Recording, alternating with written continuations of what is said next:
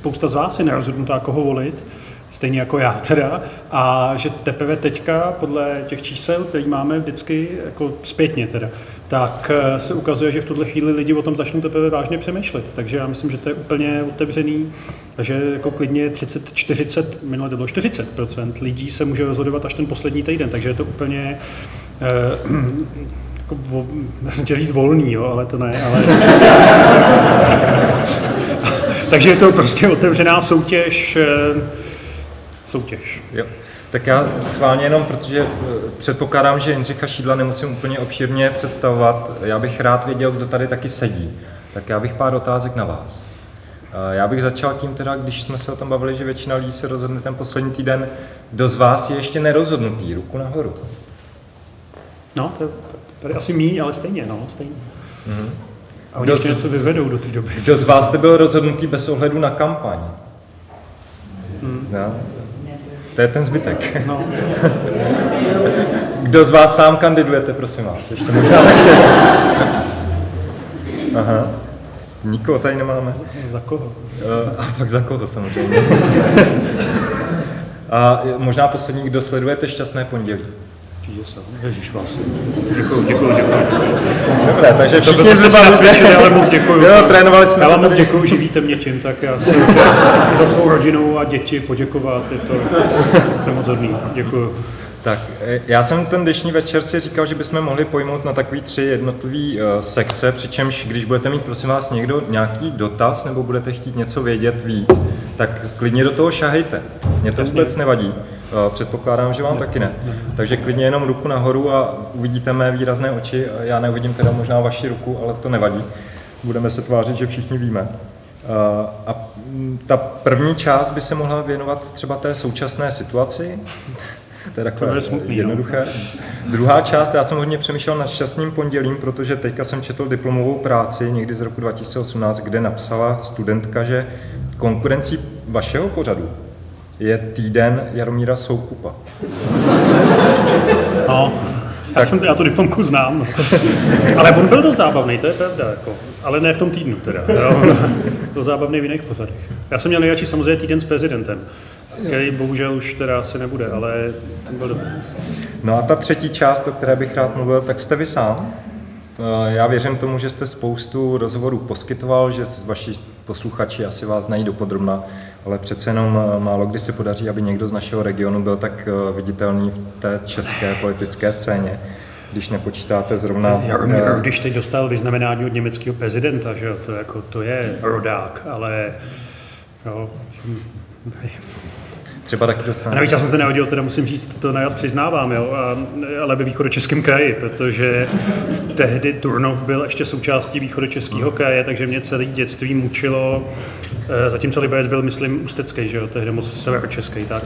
A mě celý dětství mučil rozhlas Podátě a pořád rodinné balení český, československého rozhlasu Hradec Králové, jo. To bylo úplně příšerný, tak já jako jsem rád, že se ty hranice posunuly teda.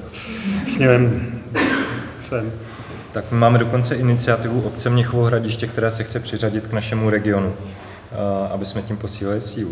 Máme Já se... první zpětnou vazbu z publika. Není, Není na nás vidět. To je lepší, ale to, je lepší. A když už jsem vás vyrušil, tady je logo Seznam zprávy. Jo. Tady, co ho nevidíte, tady dole. A děkujeme moc. Tam bylo. Já to můžu držet, jestli, nebo... No. Hrozně dobrá, to je hrozně dobrá knížka. Tak já jsem se chtěl zeptat hnedka na začátku, v podstatě, když se budeme bavit o tom, jak to nedopadne ten uh, příští týden, tak uh, vy v podstatě říkáte, že máte skvělou paměť na to, co politici řeknou.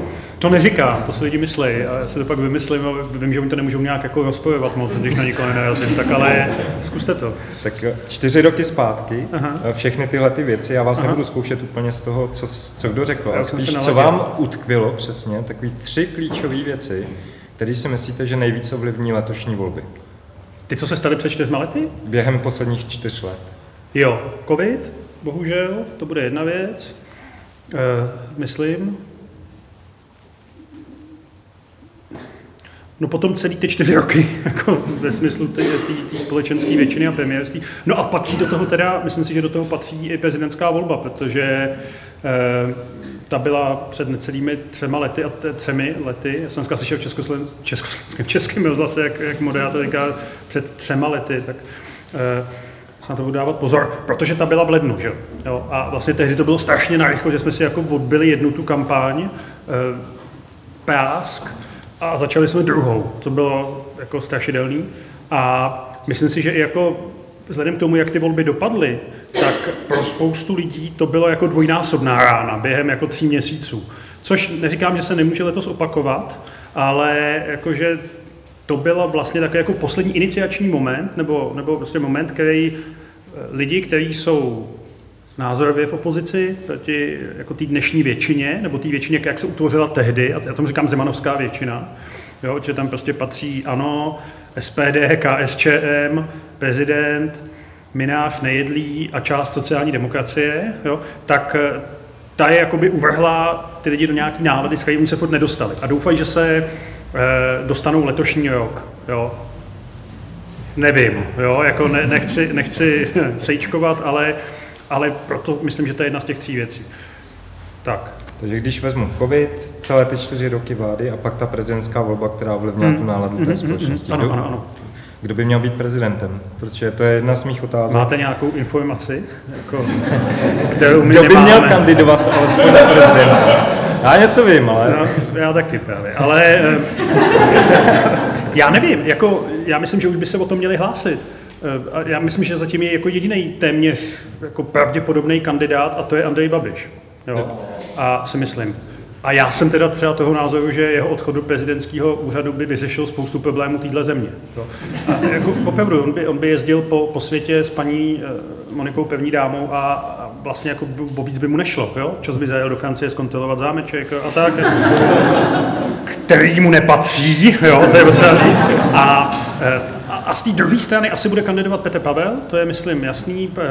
Paní rektorka Nerudová vypadá, že se na to chystá ale jako, myslím, že se ty lidi teprve začnou hlásit a že to bude záviset na dvou věcech. Za prvé, jak dopadnou tyhle volby, mm-hmm. jaká bude sestavená vláda, a za třetí, kdy budou prezidentské volby. Protože já jako fakt nejsem cynický a nepřeju prezidentu Zemanovi nic špatného, už jenom proto, že je třeba stejně starý jako moje maminka. A moje maminka vypadá jinak, teda musím říct, jako, eh, vzhledem ke svému životnímu stylu, jako nežije životní styl Kita Čoce, jo. tak eh, ty prezidentské volby skutečně mohou být dřív. To už dneska jako vám řekne ve sněmovně téměř kdokoliv.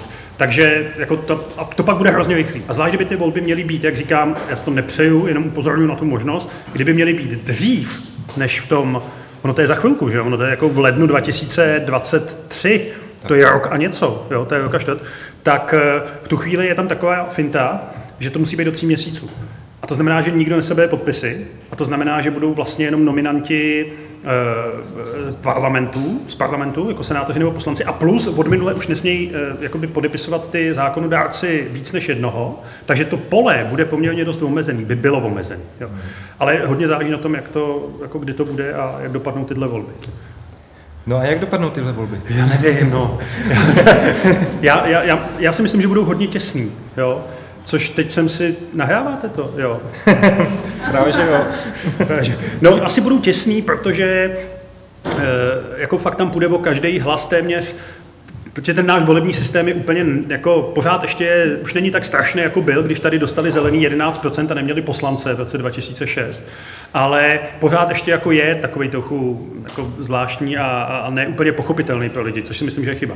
Takže jako tam záleží na tom i kde kolik přijde lidí, jako podle toho, kde bude kolik mandátů. Já jsem to říkal minulý týden v Trudově, nemyslel jsem to nějak arrogantně, ale lidi si mysleli, že jsem si to myslel arrogantně. Ale jako liberecký kraj je takový jako Kentucky eh, České republiky. Jo? Všichni vědí, kdo tady vyhraje asi, ale zároveň je to jenom sedm poslanců, takže to jako automaticky řadíme někam jako jo, v porovná, a je to, je to ta chyba, jo, v porovnání prostě s Prahou, kde je těch poslanců 24, nebo s Jižní Mojavou, Severní Mojavou, jo, tak tady budou mít asi dva nebo tři starostové, dva ano a dva spolu, nebo tak ještě asi Okamoja tady bude, vás nechci děsit, ale myslím, že tady bude mít něco. Jo, takže eh, podle toho to pak bude, může to být jako Teď poslední průzkum, který dělal STEM, vyšel jako mezi těma koalicema demokratickýma, opozičníma a mezi tím zbytkem vyšel 100 na 100. A to si myslím, že by byla opravdu úplně to, co ta země potřebuje. Jo? Ještě jako to bychom si užili teda. Nejvíc by si to užil prezident samozřejmě a e, jeho okolí. A e, tam je samozřejmě otázka, jak bychom pak museli počítat sociální demokraty třeba, který myslím, že se, kdyby se tam dostali. Jo. No, bude to, bude to zajímavý. A myslím, že to bude fakt jako hodně těsný. A že mimochodem, to já jsem, jsme teďka dali, jsme vysvětlovali lidem, že ono to bude vypadat nejdřív tu sobotu, protože nejsou exit poly. Jo? Jsou strašně drahý exit poly a často trefí jako netrefej 100 dolů, nebo to se v minulosti stávalo. Jo. Tak letos nebudou exit poly, to znamená, že ty čísla budou nabíhat postupně. To znamená, opravdu trvají ty velké města, včetně Liberce, díl než prostě ty malé okrsky, takže nejdřív povede Andrej Babiš a tahle ta část, jakoby, jak to říct, tahle část politického spektra, No a pak se to začne trochu dotahovat a budou všichni jako posedávat, jako minulé, jestli se tam dostane stan a topka, to bylo že loni, minulé, to už jsou čtyři roky, to je.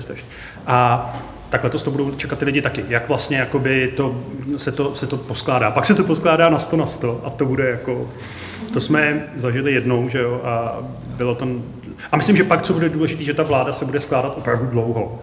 Jo, že to je jako výsledek. Ono není důležitý, kdo kolik dostane konec konců procent, ale bude důležitý, kolik se tam dostane stran jo, a co se s tím pak dá vlastně dělat. Jo, protože no, smyslem těch voleb je přece jenom sestavit vládu a která by měla nějak odpovídat složení té sněmovny, což nevím, jestli je všeobecně přijímaný názor v Praze jo, a na hradě třeba. Takže je to dlouhý. No. Já na vás zkusím pár takových rychlých otázek, no, uvidíme, kam se dostaneme. Jakože máme otázka. být stručnější, Takže, dobře. Ne, ne, ne, ne, ne. Jenom uh, poprosím jednoslovnou odpověď. Uh, když řeknu pivo, víno, si obojí. To. auto, kolo. Eh, teď, teď auto. Praha, Liberec. Turno. Takový kompromis hezký. Žena, muž. Já? Jako nebo moje žena. No. Zeman nebo Babiš? A to není, to není na krátkou odpověď, ale teda to není vůbec na odpověď, skoro bych řekl. Ale, já, já to řeknu, jo. Mm-hmm. Babiš. Proč? No, jako otázka je, o čem se bavíme, jako, jako kam, kam to míříte. Jako, myslím si, že přes veškerou kritiku, kterou jsme kdo tady v sále, nebo já vyslovil adresu Andreje Babiše, tak a já se na ní trvám, protože a řekl jsem toho spoustu a bez ohledu na to, jak vypadá teďka ta kampaň, tak já si myslím, že on nechce tu zemi zavlít na východ. Jedním z důvodů je teda třeba to, že má ten zámeček zrovna ve Francii jo?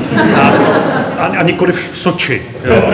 A, nebo u Krivýho rogu, jo? kam poslal teda syna. A, e, a, že, že, a další podnikání má na západě, takže si myslím, že on jakoby přirozeně víc míří jako na ten západ. A on by vlastně strašně chtěl, aby ho tam byli vážně, aby ho tam měli rádi, což jako není jednoduchý z mnoha důvodů i toho střetu zájmu, ale myslím si, že na rozdíl prostě od prezidenta, jehož v okolí tady evidentně zastupuje zájmy úplně jiný země, než je Česko, jo, nebo dvou zemí možná, a, a ten prezident to přijal tak, jako on přece jenom tu zemi nechce vyvlíct, což i několikrát a teďka dám takovou závorku, jo, pak, pak můžu říct, že jo, což nebudu, spoustu těch věcí kritických, eh, udělal několik věcí, které tomu nasvědčovaly. Eh, od těch Dukovan, který nedal, eh, nedal koudelku, nepřivez jsem Sputnik, pokud něco jako Sputnik existuje, protože to je jako taková vakcína, a kterou jako nikdo neviděl zřejmě, nebo asi viděl, ale je to taky problematický. A to je teda skoro všechno, bych řekl, ale i to jako mi stačí k té vaší otázce, kdybych se měl takhle rozhodnout, tak bych řekl asi tohle. A pak je samozřejmě jako spousta důvodů, proč bych řekl, že nechci jako se rozhodovat mezi tímhle, těma variantama. Je tu někdo, kdo volil Babiše? Jenom ruku nahoru, nebojte se ničeho. Což mimochodem, ale mimochodem, jenom, že vám do toho zkuším, no, no, no. před asi čtyřma rokama vyšel v Respektu, který asi spousta z vás čte, strašně zajímavý článek, kde jako nechali jenom mluvit voliče Andreje Babiše. A já jsem tehdy říkal ještě svým studentům, ať si to koupí, ať si to přečtou, protože to bylo strašně zajímavé. Jo, je hrozně jednoduchý jakoby říct, a já to nemám rád, a v té Praze se to hodně bojí, to koblihy a tak. To je strašně přezíravý postoj, který jako vůbec ne, ne, ne, nedovoluje pochopit. My jsme byli minulý týden se ženou, na, či moje žena je novinářka, vynikající, no, fakt je skvělá. A byli jsme na reportáži ve Znojmě, u Znojma, což je jako velmi složitý kraj, jo, jako volebně. A e, tam, máte, tam jsou přesně ty voliče, jako Tomia Okamury, Volnýho a můžete to jedním šmahem jako smíst a říct si, s váma se vůbec nechci bavit a tak. A když je posloucháte, tak vás to jako minimálně donutí o něčem přemýšlet. Což si myslím, že v řadě případů, v řadě případů to Andrej Babiš je to jednoduchý. Jo? Zvedl důchody, Jo, což já chápu, ale v řadě případů je to složitější, proto eh, je jako vlastně zajímavý těm voličům naslouchat. Já jich taky moc neznám, samozřejmě ve svém okolí moc nemám, dokonce my jsme jedna z mála městských částí v Praze, to znamená jakoby okresů, nebo jak to říct, kde hnutí ANO nemá svoji základní organizaci. U nás normálně, jako my vlastně nemáme v zastupitelstvu nikoho z ANO, jo, což je zvláštní na Prahu 7, ale, nebo vlastně není moc, ale tam jako není základní organizace ANO. Já jsem tady k tomuhle v podstatě chtěl i se zeptat na, na tu věc uh, ohledně toho šťastného pondělí, protože já jsem přemýšlel, na koho to vlastně míří, jestli to dokáže mluvit s tou cílovou skupinou ne. těch voličů Andreje Babiše. Ne, nedokáže. Vůbec. Moc ne, ale to není ani, já, já nepřemýšlím na to, nad tím, ke komu mluvím, ale jako ne, že by ne, takhle, ono je to dokáže oslovit, po čem svědčí to, co mi píšou, ale není to úplně souhlas teda, jo, většinou, takže, takže ale to je názorový pořad, to je autorský názorový pořad, který vyjadřuje moje názory a názory mých e, spoluautorů, kolegů, kteří to se mnou dělají. A já jako ne, nemůžu přemýšlet, tak jako jsem byl nucený přemýšlet v české televizi, když jsem, já jsem, když jsem byl v české televizi rok a půl, což byla teda fascinující životní zkušenost, tak eh, já jsem psal tehdy sloupky pro respekt ještě. A byl jsem, měl jsem to povolený jako od té televize, ale bylo mi řečeno, že si musím dávat bacha trochu, jako, aby jako nebyl příliš jednostranný. Takže já jsem psal pro ten respekt a zároveň jsem jako přemýšlel, že minule to bylo o Parubkovi, takže bych to měl asi udělat teď o Topolánkovi. A to jako není zdravý vůbec pro tu žurnalistiku. No a jak se díváte na ten vliv v současné chvíli na veřejnoprávní média, který narůstá? Nebo on, teďka, vliv, on teďka trošku pokles v té české televizi, protože se ukázalo, že oni prostě nemají většinu na to odvolat Dvořáka. Takže Dvořák teď vypadá docela spokojeně. ten, ten vliv je, je, je, akorát některý ty členové rady prostě zjevně noví nebyli schopni doručit v úvozovkách to, co jako, s čím tam byli volení. Bude to, ten, ten vliv se ještě bude jako nějak projevovat, myslím, protože podle toho, jak ty volby dopadnou, protože tam bude asi, tam bude několik volných míst, že jo, jo v tom, v té eh, v radě.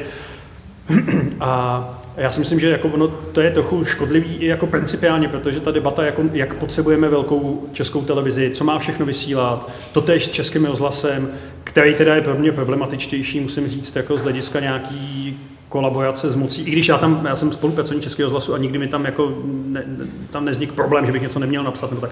Ale přece jenom, jako když otevírá ředitel, generální ředitel Českého rozhlasu budovu v Brně, shodou okolností úplně náhodou z ministerní financí, která úplně náhodou kandiduje v Brně a ta budova je teda úplně náhodou nedostavěná ještě, jo, tak je to trochu zvláštní, musím říct. Ale ta debata, jako potřebujeme tolik programů, má česká televize vysílat všechno, co má, nemá toho vysílat míň, ale zase, jako když to bude vysílat míň, tak jako bude se na to někdo dívat. To je úplně legitimní otevřená debata, která vlastně tím, že teďka tu televizi všichni chrání před Babišem, jo, nebo před tou většinou zemanovskou, jak jsem ji naznačil, vlastně jako celkově zdržuje ten, nebo jako znemožňuje tu debatu, která je úplně otevřená, včetně toho, jak se za ní má platit, kolik mají být koncesionářské poplatky a tak. No a, a plus to samozřejmě, jako já, protože v té televizi jsem pracoval, znám tam spoustu lidí, nebo ještě ze studií, nebo všichni novináři se znají v Praze jo, speciálně, tak, eh, tak jako tam člověk to chují, tak ví, že tam existují i nějaký jako vnitřní jak to říct, jo? Ne, ne vždycky úplně idylický vztahy mezi těma lidma, kterým se nelíbí, že prostě události, což já jsem si tak několikrát všimnul, jsou prostě mnohem, řekněme, víc po srsti, než, než já nevím, události komentáře, nebo když tam vypustí Václava Mojavce, jo? Nebo, nebo Martina Řeznička, tak eh, to tam všechno je. A, ale ten tlak, jako ty veřejnoprávní média jsou vlastně, já se omlouvám, ale trochu přežitek. Jo? My teďka, už dneska, ale já jsem pro jejich zachování, pro nějakou debatu, ale vlastně ta debata se nepovede, dokud prostě Andrej Babiš, který mu platí 20% trhu jako mediálního, tak dokud bude v té politice, tak se nepovede a je to škoda. Mhm. Kdo z vás sledujete události na ČT1? No, no. A, a jo, ale události jsou, jasně, já, já taky se koukám na ČT, nebo na, na události, ale já se teda radši než na události dívám třeba na události komentáře, kde ty zprávy dostanu taky. A, a je pravda, že ty události jako obecně, nebo aspoň když jsem byl v České televizi, tak to tak bylo, tak měli nejstarší publikum ze všech těch, těch jo? A měli zase zároveň největší publikum, protože se na to dívá, já nechci se teď plést, kolik to je, jestli tři čtvrtě milionů lidí, a tam jakoby je to trochu celá jiná voličská a divácká skupina, než kolik se sejde u těch událostí komentářů, u kterých teď z hlavy vůbec nevím, kolik mají jako diváků, ale řádově míň. Jo. Takže proto ty události jsou vlastně takový z mýho pohledu jako nejmín konfliktní. Co, že oni to taky vědí, že pod tím tlakem jsou a že aspoň nějaký jako úkroky dělají a je možná, že prostě ty, ty politiky, kteří na to tlačí, je prostě důležitější to, co je v událostech, než to, co má Nora ve 168. I když to je štve, protože to Nora má fantastický čas, že jo? Jako po hlavním filmu v neděli od večer, v hlavním prime timeu, to je skvělý. To znamená, že tím pádem jako na to kouká hodně lidí, a tím pádem jako je to zajímá víc. A nebo než má Mark Volner, který má taky hodně, protože má taky výborný čas, mimo jiný, a obou jako jsou moji kamarádi, vážím si jich, ale uh, ty události jsou přece jenom jakoby víc pro ty politiky. Jo. No a když byste si vzal třeba eh, zase šťastné pondělí versus veřejnoprávní pořad, tak eh, na vás třeba jsou taky nakládaný nějaký tlaky, který já, já, to říkám, já to říkám, já to říkám vždycky a nelžu, jo budu já, když to řeknete, kdybyste potkali někoho ze seznamu. Prostě v tomhle je seznam skvělý a e, jedinečně svobodný, protože to tam nikoho nezajímá. A e, jako co děláme nebo respektive zajímá je to vzhledem k tomu, jaký to dělá čísla třeba, ale tak, ale já mám tu velkou výhodu, čehož si hrozně vážím, že po mně vlastně nikdo nechce ani námět, ani scénář, ani jako to vidět. A samozřejmě, kdyby to někdo z mých nadřízených, já jich moc nemám tam v tom seznamu, ale jako jsou tam, tak kdybych jako to po mně chtěli, tak já jim to řeknu, ukážu jim scénář, protože jsem prostě zaměstnanec té firmy. Jo? To já jako tuhle tu korporátní kulturu s tím, ale zatím se to nikdy nestalo za těch skoro pět let asi dvakrát chtěli vidět scénář a pak to měl být jako začátek nějakého trendu, jako že budou vědět, o čem to je, ale pak už to nechtěli, tak celé to nebavil, ten, ten scénář nevypadá moc jako zábavně. A e, vlastně teprve my to do, tý, do toho systému, kdy to může někdo v seznamu vidět, vkládáme někdy třeba v 10 hodin večer v neděli, takže se to moc nedá zastavit už. Jo. Říká se tomu v české televizi, vy, který znáte televizi, tak víte, že existuje něco jako kopr, to je kontrolní projekce, jo, že každý příspěvek musí někdo vidět. Což se ne vždycky v době, kdy jsem tam byl já, teda aspoň v událostech podařilo a bylo, nastávalo něco, čemu se říkalo kopr, teda celostátní kopr. To znamená, že to viděli editoři stejně jako diváci v celé republice. Jo. Takže tohle to mám seznamu a tohle je skvělý. A samozřejmě, že ten pořad by v české televizi v této podobě nešlo dělat. Já to vím, že jsem tam potom s někým mluvil. Nešlo, protože prostě oni skutečně jako musí dodržovat něco, co já nemusím dodržovat jako vůbec nic. Nebo musím, protože jsme taky regulovaný vlastně jako televize seznam velkým, velkou jadou a mediálním zákonem, ale jako z hlediska jako nějaký tvůrčí svobody, je to úplně jako skvělý tohle. No. A ta autocenzura třeba, protože zase máte zaměření, jste někdo, eh, zároveň víte, že jste někdo, eh, máte nějaký světonázor a taková ta vnitřní pounutka je někdo, komu víte, že křivdíte? ne, to ne, já nekřivdím nikomu, všichni si to zasloužejí, ale já si, my si spíš dáváme pozor na to, abychom, jako aby každý díl se dá točit o Andreji Babišovi. Už jenom kvůli tomu, že má prostě nejlepší ten YouTube kanál. Jo? A, to je, a navíc prostě on tím, jak mluví, jak jako vystupuje, tak je to vlastně jako skvělý terč, ale já jsem v tomhletom, v tomhletom ve stejné pozici jako přítel John Oliver, s kterým jsem se o tom teda náhodou bavil, když nás poslali na 20 minut s pěti dalšíma novinářema světovýma k němu, tak eh, říkám, že byl rozhovor s Johnem Oliverem, ale někdy musím přiznat, jak to bylo opravdu. Tak eh, on říkal, že vlastně že on má takovýhle problém, aniž by tušil, že teda jaký problémy mám já, to moc nezajímalo. A on říkal, že vlastně tohle řešil s Trumpem, že jako o Trumpovi tím, že mluví jak člověk z páté třídy a tak, tak jako, že by to šlo točit furt, ale že spousta toho je mlha, kterou vypouští záměrně, aby se toho lidi chytli. Jo? Tak jako my občas si řekneme kluci a neměli bychom teďka taky být trochu přísní na Piráty, jo? nebo na spolu, nebo, na, na něk, nebo neuděláme něco, nějaký úplně jiný téma, než jako, takže to není nic autocenzura, to je spíš jako úvaha, aby, ty, aby to nebylo vlastně furt stejný, jo, což, což se snažím. No. No a když tady máme v Libereckém kraji dominantní stranu starostové nebo SLK, teda v našem případě, tak eh, na ně něco máte? Na putu? No, na, na, já nevím, já jsem ho neobvinil, že jo, ale sedm let to trvá, takže, takže e, já já myslím, že jako mimochodem ten případ, který myslím ještě neskončil, že jo, pokud vím, protože tak, že mu jak, on mohl být teď ten, ten líder celostátní st, eh, Pirátů a stanu, že jo, to mohl být on, jo. A já o tom případu nic nevím, jo. A vím jenom, že se to táhne nekonečně dlouho, že jsem tady vlastně s ním byl na rozhovoru, to bude sedm let, někdy v listopadu 2014 jsme tady seděli v tom, v tom jako depu a e, pak těsně potom to obvinění přišlo. A jako sedm let mi přijde teda jako hodně. Tak buď to něco udělal, tak ho zavřete, nebo něco neudělal. To je stejný jako s Babišem, to je ještě horší je teda případ Parkanova, ten je úplně strašidelný. To je jako, to se táhne 9 let. Eh, paní Parkanový to zničilo prostě zdraví, jako strašný. Jo, tak ty dílky jsou v tom, ale jinak na putu nic nemám, to je, jestli jste chtěli vědět. Kromě toho, že řekl, že opraví, ale to spíš byl takový jako trochu slib, uh, že by se mohl upravit ještě, což bych si přál teda, jako kdyby se upravil ještě. No nejhorším spadne. Uh, Já vím, no, ale to je škoda, ne? Jako, to je jedna z nejhezčích budov jako v zemi celý, tak to... Ještě máme Máří Magdalenu a pár dalších staveb. A tu libereckou politiku nebo tu politiku v tom libereckém kraji sledujete, když jste tady no, nebo... já, no, trochu. Jako, já s, samozřejmě jako třeba znám se s poslancem, eh, poslancem Farským, který tady vede tu kandidátku, vždycky říká, že je starosta Semil, jo? a víte, jaký je vztah Turnováku k Semilům. Jo? Jako, to je jako Sparta Slávie, nebo Arsenal Tottenham, nebo já říkám čeho, jako, kdy má zatáčka jako nějakýho starostu. Ale to třeba, jako on byl důležitý, protože svýho času jako přines do té politiky témata toho, toho registru a tak, což mi přišlo zajímavé a myslím, jako, že užitečný. A vím, že tady vždycky vyhraje jako puta. Jo. A samozřejmě, že vím, že Liberec měl strašlivou pověst, z hlediska jako provázanosti města a biznesu, abych tak řekl. Že jo.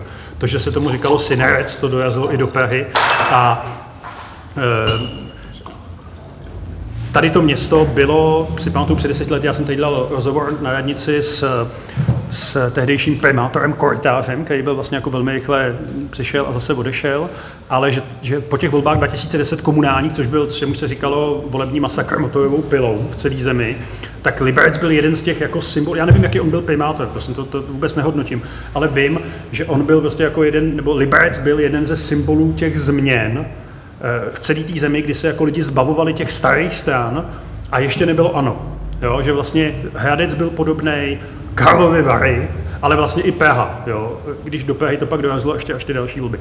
Takže e, to sleduju jasně. jasně. My jsme v podstatě napřed vždycky, tím jak jsme menší.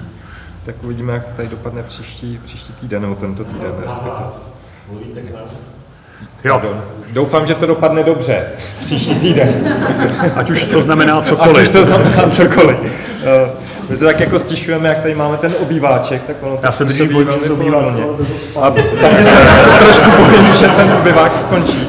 Eh, ne, budeme křičet, já to chápu. Já, já, já, já taky už slyším a omlouvám se. Já taky, já taky trochu mumlám. No. Eh, jsme se tady sešli výborně, tak si zamumláme. Ale vy mluvíte dobře, no, ode mě. Máte někdo otázku, když, když už jsme se na vás podívali a dokonce i zorničky to trošku dokáží rozpoznat? Tady, ano. Já jsem se chtěl, jaký máte názor na proměnu Jaromíra Soukupa? No, já jsem jí byl trochu osobně jako, ne, jako ne, že bych ji asistoval, ale všimnul jsem si protože my jsme, že jako, on o nás říkal, jsme pitomci, my jsme o něm naznačovali, že je pitomec, takhle jsme si vyměňovali jako vzkazy v těch našich pořadech. Pak jsem, já jsem pak řekl, že už ho nebudeme nikdy dělat a zakázal jsem vtipkovat o třech věcech. O něm, o mluvčím prezidenta, to je jako zbytečný, a o Brně, jo, protože to je stejně lacení všechno dohromady a navíc Brno je cool město. A potom někdy, v, to bylo po prvním lockdownu v Praze, to znamená někdy v květnu loni, najednou mi volal můj spolužák, který shodou okolností tehdy pro něj dělal, dnes je teda členem Rady pro rozhlasové televizní vysílání a mluvčí ministerstva zdravotnictví Dan Kepl a říkal mi, prosím tě, mám tě pozdravovat od šéfa a máš přijít ve středu do debaty, do arény k němu. Já jsem říkal, co? Říkal, no, máš přijít k němu do arény. Já jsem říkal, jako proč? Říkal, no, protože prostě udělá o médiích a budeš tam ty, Staněk, Luděk, taky jako komik, a Xaver. A já jsem říkal, OK, to je výzva, já ti zavolám, jo. A protože mi volal doprostřed porady, tak jsem hnedka položil jako svým spolupracovníkům otázku, co mám dělat. A zvítězil ale tam nemůžu nejít. Jo, že tam prostě musím jít jako vzhledem k těm inzultacím, které jsem měl. Takže jsem tam šel a čekal jsem, že mě budou jako obývat tím ročníkem, jak ty boxy. A to bylo naprosto jako pro mě šílený zážitek. Mě jsem měl prostě pojedeme na dovolenou spolu, protože rozdělává se a vidím dobrý den, jo, a dejte si kafe, jo, a teď jako otázky, já jsem říkal, co se s ním stalo. A to byl někde začátka, začátek té proměny. Já si myslím, že to, to, co měl předtím, byl čistě biznisový rozhodnutí. To, jako, jak on byl vlastně tou hlásnou, on byl takový parlamentní listy televize, jo? že bude hlásnout troubou nebo komunikačním kanálem, abych se nevyjadřoval jako hnedka příliš kriticky, tohohle společenského proudu. On tam měl toho Zemana, což pro něj bylo výhodný, on k němu pak tím pádem tam jako všichni rádi chodili, takže tam občas byli zajímaví lidi, kteří jinde nebyli. Já jsem se na to díval tehdy, než skončil Zeman u, nebo prezident u Soukupa, já jsem to sledoval pravidelně, protože tam byl jako zajímavý čistý vzkazy a tak. No ale ve skutečnosti on jako není takovejhle typ jako z podstaty a ve chvíli, kdy se rozešel s tím hradem, což bylo údajně dost dramatický, se říká, a on je boxer, jo, bývalý, tak, eh, tak vlastně jakoby to šlo dolů z hlediska, já nevím, jaký má čísla, možná dobí, já mu to přeju, ale eh, jako z hlediska společenský důležitosti nebo relevance, tak to šlo dolů, si myslím, ta televize celá. A ať se mu daří, no. Já jsem teďka, teďka vlastně, na těch debat je tolik, že vybírám jenom ty nejhorší asi, ale třeba na ty debaty tam už jsem se nedíval, jo. A nějak mě to jako nechybí.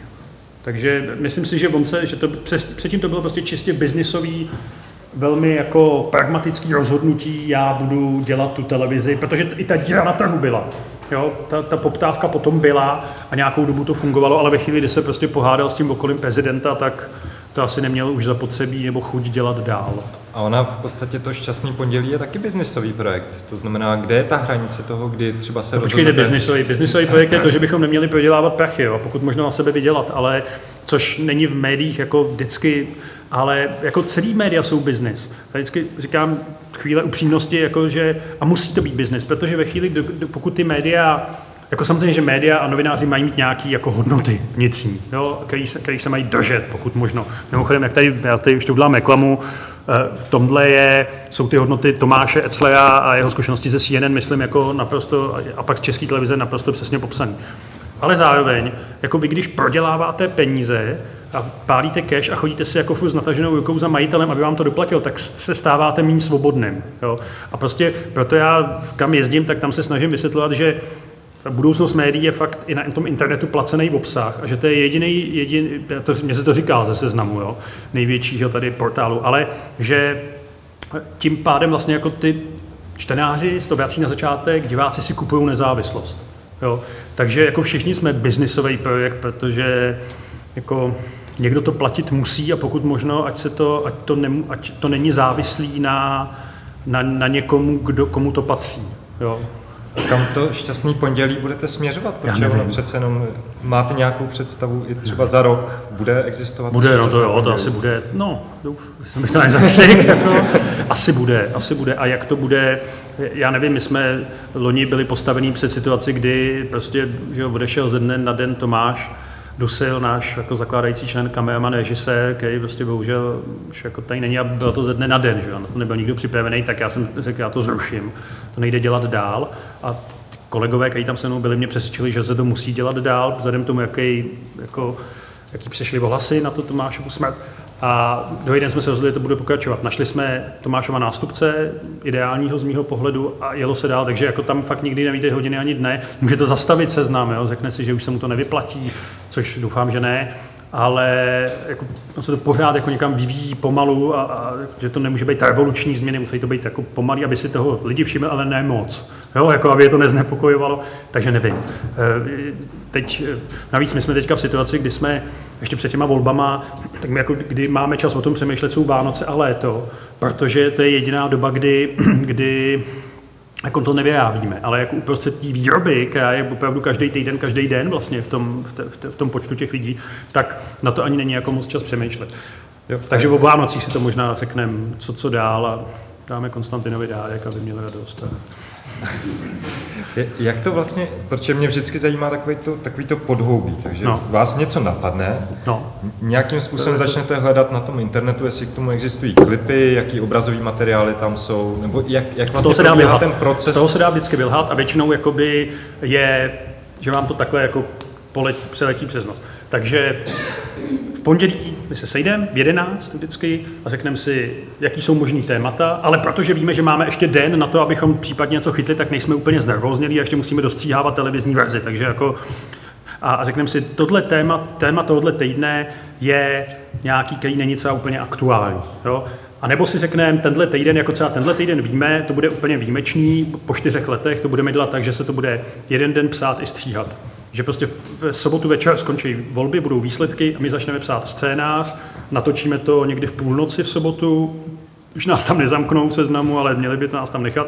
A, a vlastně za neděli se to musí ustříhat, což se normálně stříhá dva až tři dny, takže to bude si Petr užije. Jo? Ale jako vlastně ten nápad je, on často bývá spojený s nějakým už vizuálem, jo? že člověk něco vidí v televizi a začne se mu to odvíjet a Vzhledem k tomu, že my máme celkem, že pořád Česká televize nezavřela archiv, což je skvělý, nebo to i vysílání, a že na tom YouTube už se jako vyznáme. Jo? Já jsem viděl na YouTube takových blbostí, jo? a musím za ty roky, že už jako vím, kam šáhnout a jak to udělat. Tak vlastně eh, jako se ne, ano, hledáme, šeršujeme, eh, většinou jeden nebo dva, jo? a hledáme k tomu ty videa a tak, ale ten příběh vlastně Mám, máme od toho pondělí, případně úterý, teď to byla teda středa, ale to, nebo jsme věděli, ale to jsme jako tak, máme vlastně daný a míříme k němu. Pak se to píše, píše se to úterý, středa, vlastně ve čtvrtek se scházíme dopoledne a musí, víme, že ve čtyři jdeme natáčet, ale musíme ten scénář vypilovat. A už toho, toho je už jako náš karikaturista, mimochodem strašně talentovaný chlapec, je u toho režisér, který má zase pondělí, úterý, středa volno, protože předtím pracuje 16 hodin denně jo, a nechceme mu jako úplně zničit manželství. Takže jako vlastně se takhle to jakoby dává dohromady. V pátek už se zase stříhá, v pátek se vymýšlí jako obrazová složka, pak se to stříhá, protože ono to je fakt jako obtížný nastříhat a doprovodit všema těma grafickýma prvkama, který to má. Jo, což já jsem rád, že nemusím, protože na mě je vlastně jakoby ten text. Já nejsem jediný autor už, což jsem já, protože už bych jako to nedával po těch pěti letech. Jo. Konstantin se hodně angažuje, ale i v ostatní Ondřej Lasák, náš dramaturg, který mimochodem přišel proto, to vám řeknu, to je, to je smutný, to je smutný, to není tak smutný, ale je to takový, přišel proto, abychom začali výjíždět do krajů. Jo, protože jsme, to jako byl požadavek seznamu, abychom s tím jezdili do kraju. Tak jsme na loňský rok měli, tak jsme řekli, ale měl to potřebovat člověka. Na loňský 30. říjen, nebo kdy to bylo, jsme měli naplánovaný Liberec. Jo. Bohužel teda v tu dobu Zavřeno. jsme všichni seděli, jsme všichni seděli jako doma. Jo. Ale... Vláda vládne a opozice křičí. Až vyhrajeme, zrušíme tohle, tohle, uděláme tohle nový opozice vyhraje, například, zruší tohle, nový zákon, tohle to upraví a teď obstrukce, hádky, čas běží, blíže se konec čtvrtého roku, zůstane něco, něco se udělá, zůstane guláš a zase, buď to zůstane stejná vláda, anebo zase vyhraje opozice minulá. Tak to jde? Tak to střídání, vlastně to volební období asi krátký, nebo? Není. Není. Se... To je otázka, to je, to, je, to je otázka jako co vlastně od těch politiků jako čekáte a co chcete, aby prosadili. Jo? Ono tady, jsem, teď jsem někde četl, že v té sněmovně zůstalo 200 zákonů jo, neprojednaných. Jak říká Marek Benda, zaplať pámbu za to. Jo? Jako, co všechno by to mohlo být. Jo? A Jo, jako každá ta vláda má vždycky nějaký jako tři, čtyři body, který chce jako dosáhnout a ono to za ty čtyři roky fakt toho jako zas tak o moc víc nejde. Já si myslím, že ta příští vláda teda bude mít ale jako dost co dělat, protože vzhledem k tomu, jakým stavu je ten rozpočet a tak, tak jak to bude fakt to už ne, i když bude vládnout dál Andrej Babiš nebo hnutí ANO, což nemůžeme vyloučit, já si myslím, že to je dost možný, možný tak jako oni už nebudou mít ty peníze na to, aby jako rozdávali, aby zvedali důchody a platy tak, jak to dělali. Protože na to prostě nebudou prachy. Jo? Už. A to bude jako dost těžký volební období. Jo? Navíc těžko říct, jak ta ekonomika se bude dál vyvíjet, já nejsem ekonom. A, ale jenom vidíte věci, které kolem nás takhle svištějí, jako ta inflace, ceny energií z druhé strany. Jo, asi to nebude úplně jednoduché, já nevím, jestli vůbec někdo vládnout chce. Teda, jo. ale čtyři období, měli jsme jednou dva roky volební období, úplně na začátku, a to se udělalo strašně moc. Já si to uvědomuji vlastně třeba dneska, možná víte, je 30 let od přijetí lustračního zákona. A během těch dvou let se udělali vlastně jako položili základy té země se vším všudy. Taky ten parlament tam teda seděl 18 hodin denně, to federální schromáždění. Ale to bylo neopakovatelné. Navíc jasně obstrukce. A jinak je to, jak to popisujete, nevadí. Já mám jako rád emoce, hádky, obstrukce ve sněmovně, to já úplně miluju. To jako... Teď, jak jste říkal, dluhy, tohle a tak dále, A teď ta opozice jde do toho, to jsou stateční partizáni No, zase ono být, jako, ono být ve vládě není úplně partizán, jako, jako nenaplňuje pojem partizána. Oni jako vědí, proč chtějí vládnout, jo. ale myslím, že by to měli jako hodně těžký. Že jako tak, jak se vládlo mezi lety 2000, já nevím, 14 a, a 17, to už tady nikdo mít nebude, že to neustále rostlo, že jo. No, pak, a mimochodem, že jo, to, na to se nemá zapomenout, že jasně covid tady změnil všechno a mě do jistý míry je Andreje Babiše líto, že to padlo na něj, ale to mohlo padnout na kohokoliv jiného a vy vládnete se jako s tím vědomím, že může být hůř, což on si úplně nepřipouštěl, ale chci tím říct, že by to bylo těžké pro jakoukoliv vládu. Jo. Ale, co chci říct, ty problémy začaly už před tím covidem. Leden 2020, což je měsíc před covidem, pokud vím, nebo dva měsíce skoro, tak byl nejhorší stav rozpočtu od roku 93, jo, abychom všechno neházeli jenom na covid. Takže to budou mít těžký. No, ať už bude vládnout dokoliv, a proto si myslím, že může vzniknout i něco jako nějaká vláda, ne snad národního smíření, protože toho se nedočkáme, ale něco jako širší vláda, protože ty náklady bude potřeba roz, rozprostřít, nebo to je blbý slovo, prostě rozdělit mezi víc, šáp, že se o to šábne víc. A sice nejste ekonom, ale tu politiku asi sledujete z toho nadnárodního hlediska taky. Kam se posouvá ta Česká republika, nebo jak vnímáte tu cestu no, České republiky v rámci celé té geopolitické situace? To je to, co jsem říkal o tom Babišovi, že vlastně jako on tu, to Česko, byť to často tak nevypadalo a bylo to za cenu velkých ústupků jinde, jako udržel někde v nějakém ještě jako hlavním koridoru, byť jako teďka to přátelství s Orbánem mě teda zneklidňuje. Jo, jako, to, já si teda myslím, že on by se mnohem radši ukazoval s Macronem, jo, ale jako proč by sem jezdil Macron, že jo. A mimochodem, že jo, když vzpomínáte na to, kdo tady kdy byl před volbama, protože tady skutečně ty, ty návštěvy byly běžný, tak třeba Václav Klaus tady měl Johna Majora, jo, Jiří Paroubek tady měl Tonyho Blaira, to byly opravdu jako světové hvězdy, jo. Teď přijel teda tady spasitel z Maďarska a e, já o Maďarsku extra nic nevím, ale z toho, co vím, tak vím, že bych nechtěl, jako, aby, ne, to, to neříkám, jo, ale nechtěl bych, jako, aby to tam bylo i celá z hlediska médií takový, jaký je, taký, jaký je tady. Jo. Ale jinak jako to Česko se jako nějak drží. Mě na tom rozčiluje občas Přesto, že vím, že je prostě složitější tady lidem vysvětlit něco než jako v Německu, kde mají, mám pocit, jako skoro zakázáno protestovat pořád ještě proti čemukoliv, ale tak jako taková ta česká jako dejte nám prachy a nic po nás nechtějte, případně oblíbený termín bojovat za mír do posledního Američana. Jo? Jakože my ty závazky známe, ale pokud možno, když se týkají našich výhod. Jo? Ne, ne, vždycky ne, to nechci ze všeobecňovat, ale občas jako to tak jako zní. Jo? A toho jsou ten Babiš s tím Orbánem jako dokonalý stělesnění. Jo? Oni oba jsou strašně kritický vůči té Evropské unii, což OK, to je úplně legitimní názor, zejména vůči domácímu publiku. Oni když přijedou tam, tak jako on ten Andrej Babiš se taky v tom Bruselu chová úplně jinak. Jo? Ale zároveň jsou, řekl bych, velký přátelé evropských dotací. Jo, třeba Orbánův zeď, myslím, je za to taky stíhaný, nebo něco takového, má s tím nějaký jako velký problém, Andrej Babiš taky.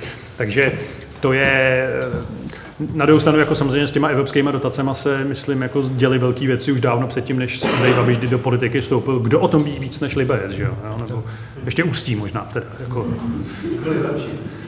Byly, že jo, jako Ústí tam jako opatruješ. Tak. No a když vezmete tady tuhle tu situaci, jo, pardon. Já jsem se chtěl zeptat, já věřím, můj názor, že ty volby dopadnou dobře, to vyhraje demokratická opozice, dokonce i ty prezidentské volby, když to dobře. Ale trošku mám obavu, že budeme kultivovat slovenský vývoj. Jak to vidíte vy? Jako, jako, že na Slovensku vyhrál trochu šílenec teda, ale jako. Nebo, nebo myslíte, jako, že to... Že tam byla taky nějaká pětikoalice, to je, to je strašně. A to si myslím, že, že by u nás taky mohlo být, ale mám obavu, že co po těch dvou letech. No, jasně. Si nebudeme kopírovat taky nějakou to co, to, co říkáte, je hrozně důležitý. Jo. Kdyby, I kdyby vyhráli ty demokratické koalice, já teď nevyslovu svoje přání, já jsem tady za, jako, jsem skoro neutrální, jo. ale i když taky budu volit, tak Nikdy tady nevládla koalice pěti stran. Nikdy. Jo. A to je, zvlášť pokud má mít 102 mandátů, jo, to je jako bych chtěl vidět toho premiéra teda pak. Jo. I když Petr Fiala by možná to by bylo jak pod sedativama, ale přičemž já si nemyslím, že by byl, aby to bylo, nemyslím si, že by byl špatný premiér, kdyby byl. Jo. Tak a máte tam na jednu straně ods a na druhé straně Piráty, což jsou přirozený soupeři. Jo do budoucna. Takže jako možná by to trvalo jenom dva roky. Já, já, moje teorie je teda, že, že tak jako tak za dva roky budou předčasné volby z mnoha důvodů. Jo. Si to tak trochu myslím. I po, po prezidentských volbách a tak. Ale myslím si stejně přesto, že pro tu část společnosti, která už je fakt frustrovaná 8 let z těch neustálých porážek, i to by bylo jako jistý vítězství. A e, že by to jako tu českou politiku trochu změnilo. Jo. E, asi nejvíc teda fakt by změnilo, nebo takhle, je jistý, že českou politiku změní významně odchod Miloše Zemana. Konec jeho funkčního období. Protože nikoho druhého, jako je on, teda tato ta strana nemá. Ani Andrej Babiš to není jako on vůbec. Jo. Takže jako odchod Miloše Zemana a to, tý party kolem něj, jo, která ho prostě drží tam, kde je, nemyslím teď fyzicky, ale jako... A i když taky už mě to napadlo. Tak, tak to bude teprve změna té politiky jako zásadní. Ale samozřejmě to, to rizika to má, tak jak říkáte vy, všechno. No. A myslíte si, že ta demokratická opozice je schopná vygenerovat nějakou hodnou prezidentskou kandidáta? Protože já si myslím, že pan Beroš nebyl nebyl, že si to zavinili, že si to Já mám takový dojem, já, Že sou, to prohráli sami. já sám ano, já myslím, že tehdy Miloš Zeman byl k poražení. A e, myslím si, že máte pravdu a mám takový dojem, jako kdyby ty kandidáti byli všichni tak jako o pět let prostě spožděný, jo? že prostě Jiří Dahoš byl ideální kandidát pro rok 2013 proti Miloši Zemanovi, ale vím, že jsme si užili s Karlem Schwarzenbergem jako velký mejdan, že to bylo jako zepětí a že to ta společnost, já to myslím vážně, že ta společnost potřebovala rok po odchodu Václava Havla, jo, jako, že to byl poslední takový havlovský zepětí a, a jeho knížecí jasnost to sehrála velmi jako důstojně, ale bylo jasný, že nemůže vyhrát, což on už sám říká. Jo, tak Jiří Dahoš byl pro rok 2013, zatímco generál Pavel byl prostě kandidát pro rok 2018. Jo. A teďka, kdo bude ten pro ten rok 2023, já obecně moc nemám rád, když jako první eh, politická funkce člověka je prezident. Ne, nemyslím si, že to je úplně ideální. I když jako, tak, jak to můžu aspoň za dálky sledovat, tak výkon jako Zuzany Čaputový je jako velmi důstojný. A jako, my jsme ji kdysi ve šťastném pondělí pomenovali jako sen českého intelektuála, jak by vypadalo společné dílo dítě Václava Havla a Sharon Stone. Jo. Tak, a, my, ale, a to jsme mysleli jako v úctě. Jo. A e, myslím si, jako, že on, ona je prostě důležitá tím, co, aspoň jak to vím od svých slovenských kamarádů, tím, co jako vyzařuje, jako takovou úplně jako normální lidskost, jako normální empatickou lidskou prezidentskou, s kterou možná nesouhlasíte, já jsem nepodlehnul nikdy jejímu kultu jako českému, ale když prostě vidím, že jí napadne, že je Mezinárodní den prostě památky nebo památný den, den romského holokaustu, tak ví, že má něco v tu chvíli udělat. Jo. Tak to je, to, toho se na tom cením. Ale jestli tady jako je Čapu, ona se taky zjevila na poslední chvíli, Zuzana Čaputová. mohla získat podporu těch politických stran. No, jasně, ale tam to bylo, a tam ještě teda, ale potřeba říct jednu věc, kterou bych nerad do Česka úplně importoval ze Slovenska, že tohle byl taky důsledek toho, té vraždy Jana Kuciaka, a to, to si snad můžeme odpustit. Jo. Takže uh, uvidíme, no, jako já bych byl hrozně rád, kdybychom měli prezidentku. Jo, ten, ten, ten, ten, ten, ten, mužský svět české politiky je čím dál nesnesitelnější. A mimochodem, jo, jako, když se, já jsem když jsme koukali na uh, zahájení kampaně Pirátů a starostů, tak jsem si říkal, vy jste jako mladý nejprogresivnější a vás nenapadne nic jiného, než mít 12 tučňáků a takhle úplně v rohu postavit chudáka Olgu Richtrovou, jo, kterou já považuji za mimořádně jako talentovanou političku Olgu Richtrovou. Jo, tak jako jí ještě stačit na stranu. To byla jako ukázka mačismu české politiky. Tam se někdo hlásí.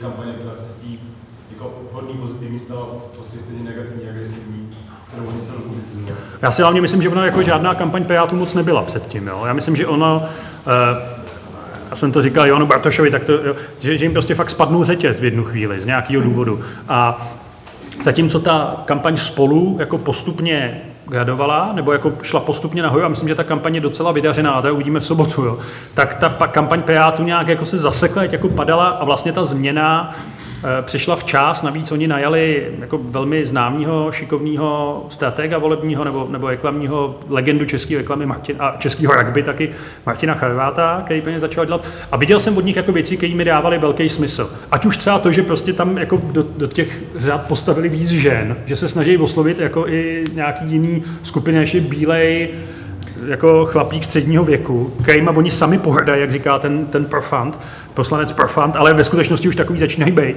tak i to, že třeba dneska jsem viděl ráno, když jsem se teda probudil, tak nevím, jestli se mi to nezdálo, ale myslím, že ne, eh, bylo, jak oni sestříhali jako výroky premiéra o chudých lidech.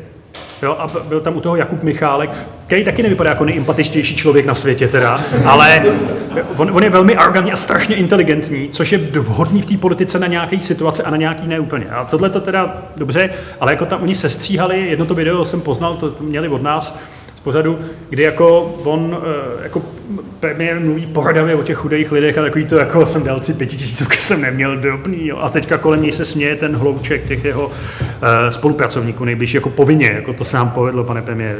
Tak myslím, že ta kampaň jako je lepší teďka. Já nevím, jaký to bude mít výsledek a jestli vlastně mohla ještě ovlivnit to, že od těch pirátů začali jako ty lidi se vracet někam jinam. A myslím, že má pravdu ten, ten eh, poslanec Ferjenčík, když říká, že aniž by to myslel tak cynicky, jak mu přepisuje Andrej Babiš, že jako ve chvíli, kdy ta vláda na tom byla nejhůř, nebo ta země na tom byla nejhůř hlavně, jo? nekonečný lockdown, děti zavřený doma, prostě bohužel tisíce metrech, tak tu chvíli, jako oni měli těch 34% a neudrželi to. Jo? A teď mi ta kampaň, to jsem viděl někoho v pirátském tyčku, tak, eh, a vím, že tady dneska Piráti, myslím, měli kampaň, že jo? Mají stále. Mají stále ještě kampaň. No, no, no. Takže se zlepšila.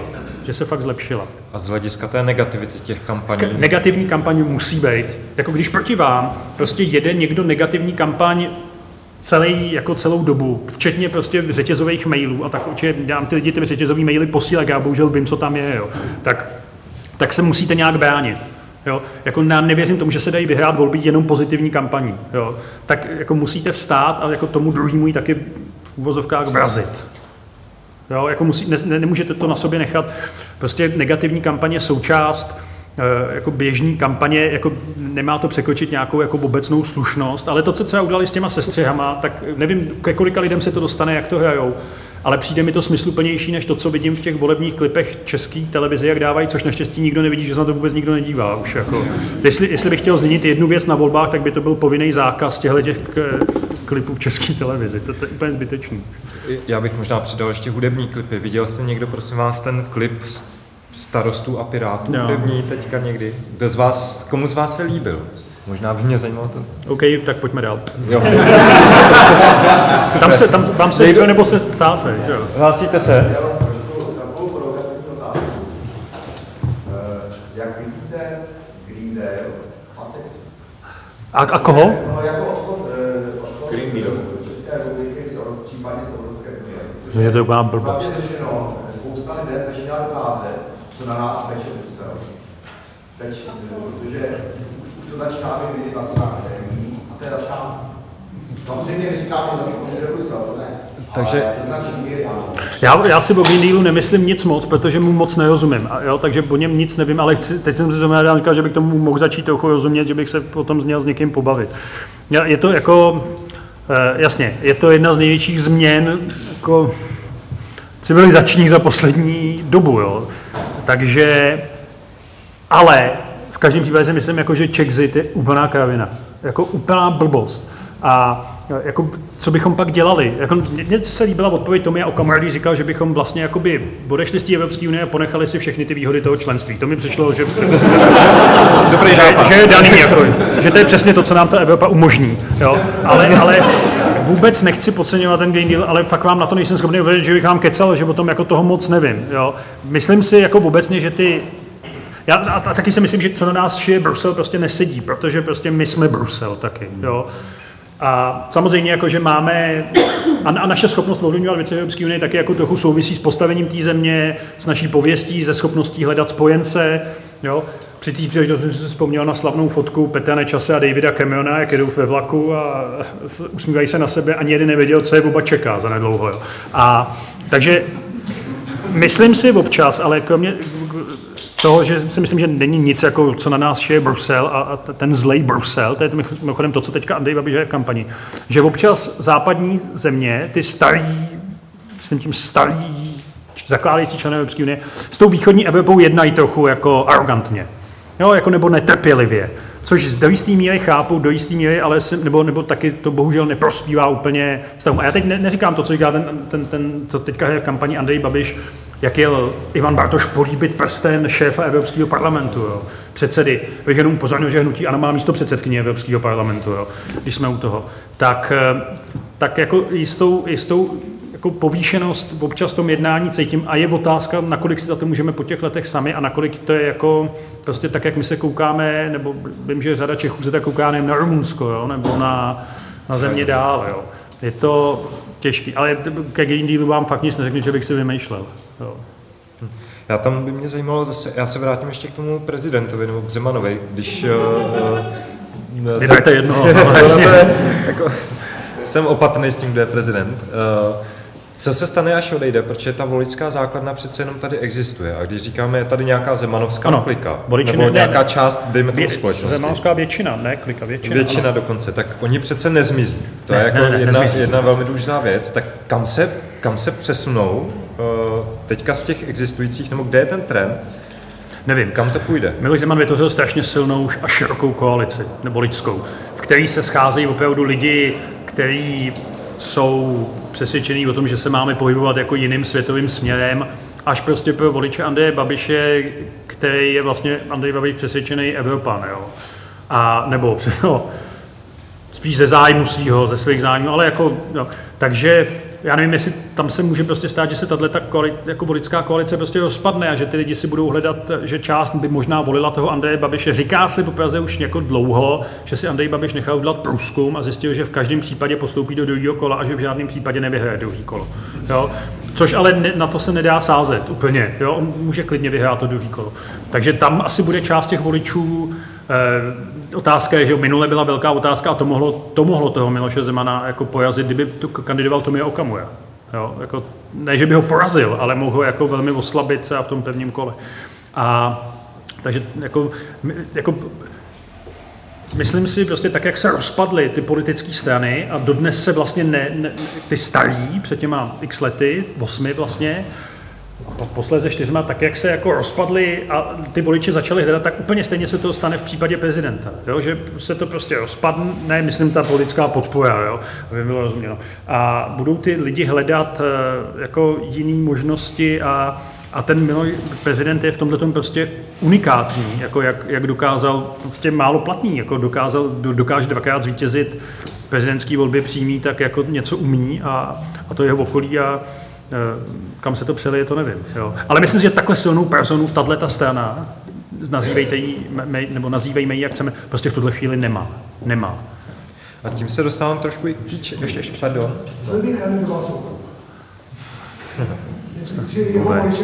To si jako kdyby kandidoval já, to, ne, to jako... To, tak teďka už si škrtnul otázku, já jsem si... ne, ne, vůbec, vůbec. Který, tak je, Václav Klaus jediný, řekněme. Jako, tak, já jenom upozorňuji, že Václav Klausovi 2,8, bude 2,80 při té volbě. Já ho nepodceňuju, ale myslím si, že do toho už nepůjde. Jako, protože on to fakt nemusí vyhrát. A jako Václav Klaus samozřejmě nechce končit pojážkou. Jo? Jako nikdo nechce končit pojážkou. To by se mi před těma posledníma prezidentskými volbami se říkal jeden z důvodů, proč by do toho Miloš Zeman mohl nejít by bylo, že on tehdy a svého času o tom uvažoval. Jeho vlastně zachránila trochu, stejně jako Okamuru, ta, ta migrační krize. Jo, která vlastně jako nakopla nový témata, tak, ale tedy se říkalo, že on do toho nepůjde a zhradu se to tak jako trochu potvrzovalo, protože nechce prohrát. Jakože nechce ten poslední svůj politický souboj, nakonec ho vyhrál, jo, ale že ho nechce skončit porážka. Mně se, mně se jako návrat Václava Klauze přece jenom jako při vší ústě, samozřejmě, že to je stále největší tenista, filozof, ekonom, jo, cokoliv si vzpomenete, environmentalista a, a, je to skutečně velká persona. A tak eh, myslím si, jako nezdá se mi to moc, jako, že by se ještě do toho chtěl návrat eh, parlamentský volby oproti to, to vám rozumím, že by, že by to asi spolu, ale myslím si, že, to, že se to nestane. Že prostě jednou jsme to jako si to vynutili mimochodem fakt. Jako když se podíváte na to, kolik čísel, jaký čísla podpory měla přímá prezidentská volba, tak eh, jako já ten výsledek byl trochu jiný, jo? ale to není chyba té volby. Na Slovensku si zvolili Kisku a Zuzanu Čaputovou. Tak se to nezmění, protože podle mě nikdo nebude vůbec chtít otevírat ústavu. Jo? To je takový pravidlo ve sněmovně ruce pryč od ústavy. I když se tam má cokoliv změnit, tak jako jakmile ji otevřete, tak se nedočkáte teda tak ne, ne, nedohlídnete toho, co se s tím může pro pána stát, to Marek Benda nikdy nepřipustí.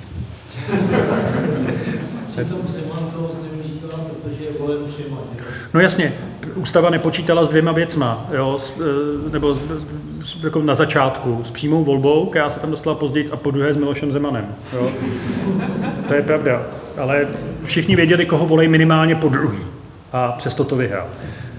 Demokratická co, volba. co ČSSD a její kampaň, protože ona říká, že Její umírá, co? umře, nebo, nebo přežije. Nevím, já jsem, já, jsem- já jsem jako v duši trochu sociální demokrat, mám dojem, a akorát já se, se těžko identifikuju s touhle sociální demokracií, ale jako u nich vlastně, oni vlastně dělají všechno dobře v té kampani, skoro, ono to vypadá dobře, jo, ale pořád to je nějaký, jako kdyby to byla jiná sociální demokracie, jak by to vypadalo dobře, nějaká jako s principama důvěryhodná, což oni úplně pohřbili, že jo, za poslední roky.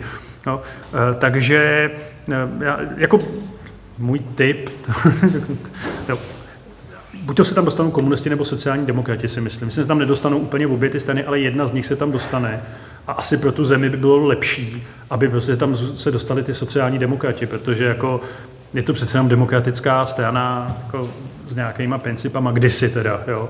A já myslím, že by jako měla zůstat, protože když se tam nedostane, tak je po ní. Jo, tak už to, protože i vzhledem k tomu, jaký mají problémy s financema a tak, tak A když se zeptám, když se odběrla ta sociální demokracie dostane, bude zase další? kdo? Socdem? No, sociální. Já nevím. Já ne, nevím. Maček si tvrdil, že jo. No já tak právě no. Jako.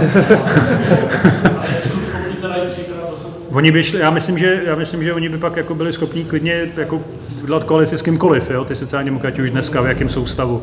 Ale jako samozřejmě, ale tam je otázka, kdo tam bude, jo. Jako, tam se ještě všichni štítějí toho, toho Okamury, ale zároveň všichni vědí, že on může být ten, kdo to rozhodne, tu vládu. A to jako je pak to dilema, si můžete říct, a máme v tuhle chvíli jít za... Mě říkal jeden poslanec ODS, ho nebudu jmenovat, říkal, ve chvíli, kdy to bude 100 na 100, já odcházím za svým koaličním partnerem Tomiem Okamurou vyjednávat. Jo.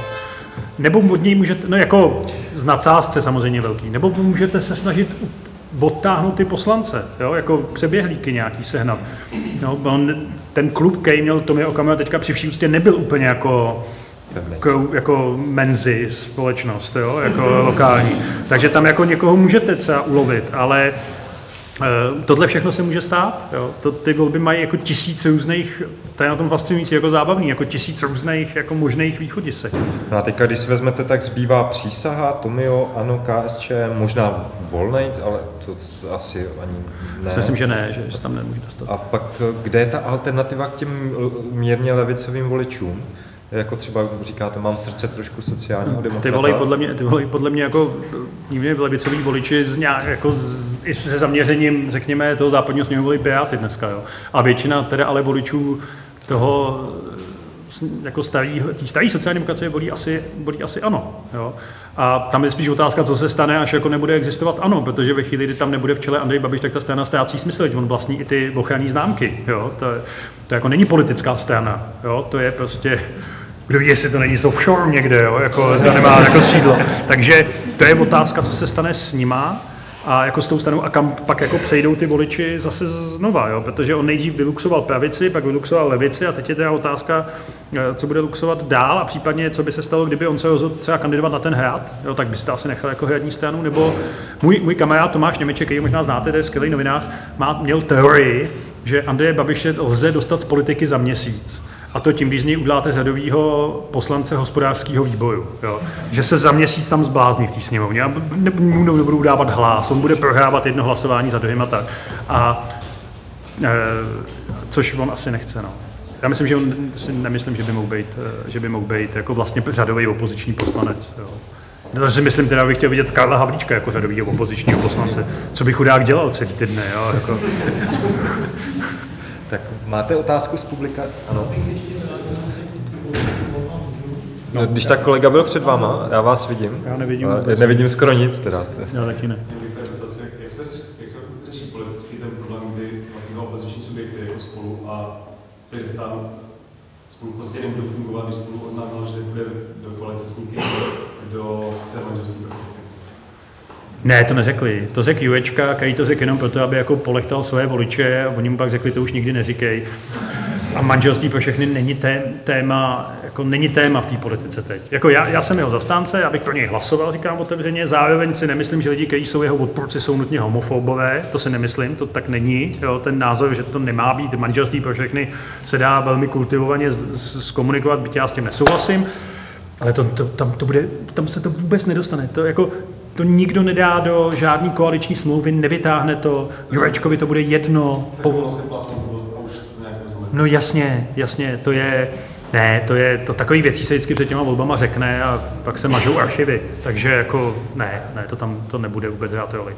Ale zároveň mě překvapilo, já jsem napsal na, na Twitter, že to není téma těchto voleb a překvapilo mě, kolik lidí, zejména mladých, na to reagovalo. Jo? A tak já jsem jenom říkal, že se snažím tím říct, že to není nedůležitý téma, že to chápu, se nechtěl jako rozlubit, jo?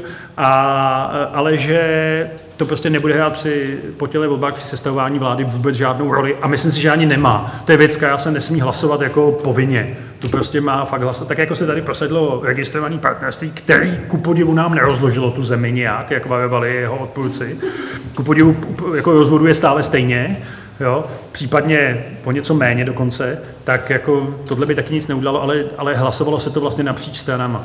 Jo, tam z každé té strany. Lidovci byli komplet proti samozřejmě, jo, jako to je jasný. Ale to, je, jako, to nemůžete od lidovců chtít. Jako, to myslím vážně, jako, jsou konzervativní voliči, konzervativní politici.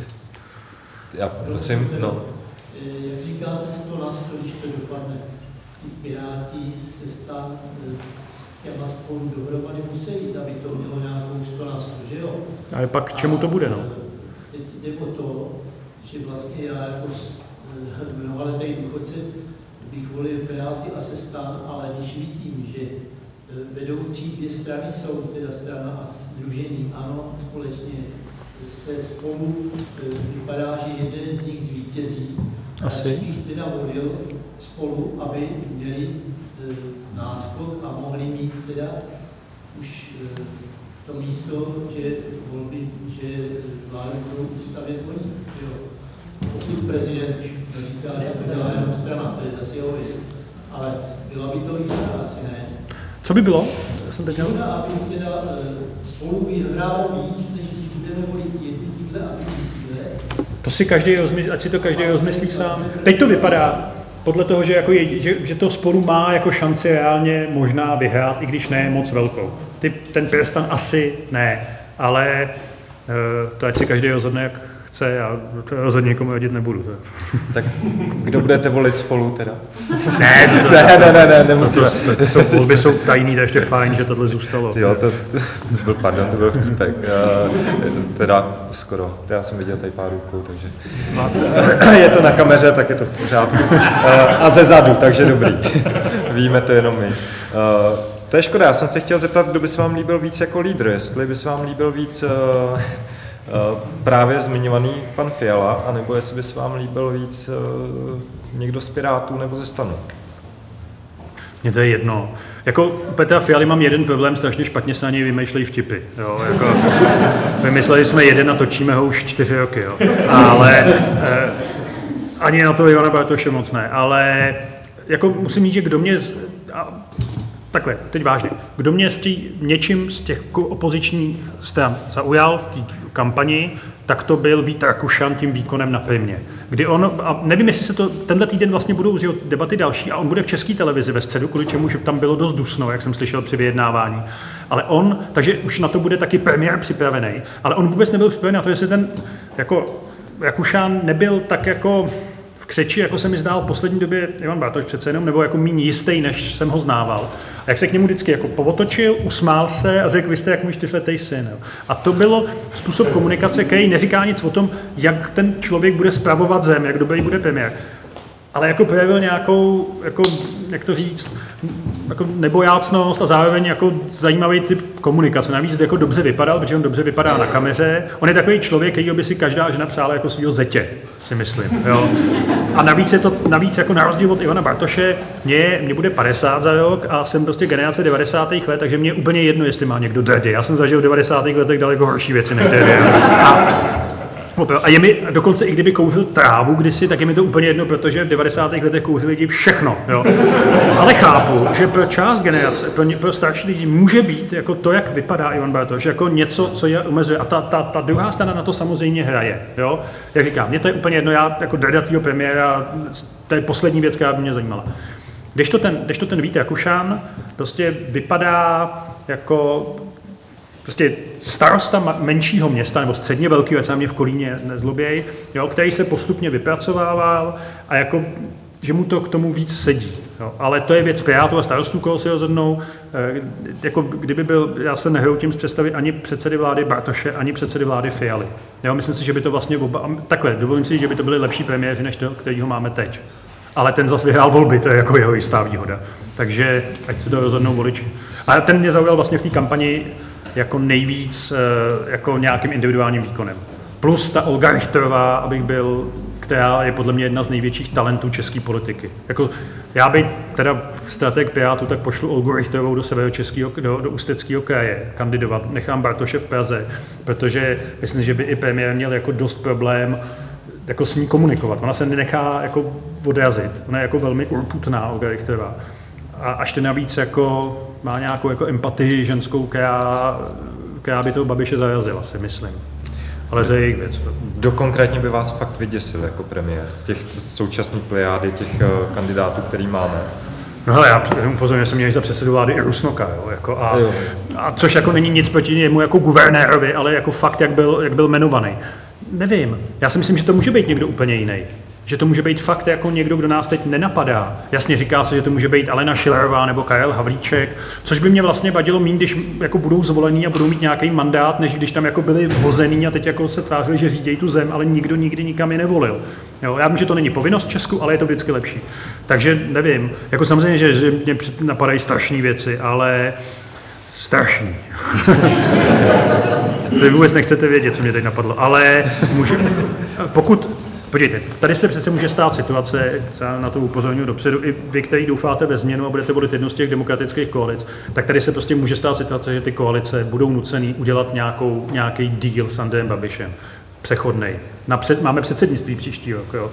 Eh, a, a nebude to podle mě zrada nutně toho, co oni teď říkají. Protože když budete mít tu zemi v situaci, že na jedné straně je nějaká dohoda demokratů s Babišem a na druhé straně je vláda Tomia Okamury a Babiše, tak jako to vašte, jo? jako co je vlastně v tu chvíli máte udělat. No a v tu chvíli se tím premiérem vlastně může stát i někdo jiný než Andrej Babiš, Může to být vláda dočasná jenom na to předsednictví, který tady nikoho moc nezajímá v Česku, ale to, to, nějaká jako závazek je a důležitý, tak jako k tomu nějakým kompromisu, který teď všichni popírají, pochopitelně, protože před volbama jako dojít může a já si nemyslím, že by za to měli novináři a, a lidi jako okamžitě ty, případně ty strany upálit, jo, nebo já na, to, na to v podstatě navážu ještě jedním dotazem, protože milion chvilek a ta iniciativa, která z toho zešla, a když vezmu i to šťastný pondělí, tak oni míří v podstatě na stejnou cílovou skupinu, nebo se dotýkají stejné cílové skupiny. A tahle ta cílová skupina pak má demonizovaný právě ty spolupráce zase s tou druhou stranou, když to tak zjednoduším. To ne, a to si myslím, že dem, ta komunikace zní, volte buď tyhle ty demokratické strany, nevolte tyhle ty nedemokratické strany. A teďka všichni v, nás, v nás může to vzbuzovat pocit toho, že to je ta naděje na změnu. A my neříkáme nikomu, koho mají volit. Jo? To ne. To, jako to, že, to, že se s náma asi stetožní víc lidí, kteří jsou v určitý vládě kritický, to je pravda, ale já jsem to říkal několika politikům z té koalice, počkejte, až budete vládnout. Jo? A oni to mimochodem znají, což je hrozně zajímavé v té politice, eh, a je to vidět na těch, na, těch, na těch politicích hnutí ano, že oni nemají jednu zásadní zkušenost, oni ještě nikdy nic pořádně neprohráli. Jo? Oni nevědí, jaký to je, když vám padne vláda, jo? když prostě prohrajete volby. A to jim strašně chybí. Oni si myslí, že to tak jako bude na pořád.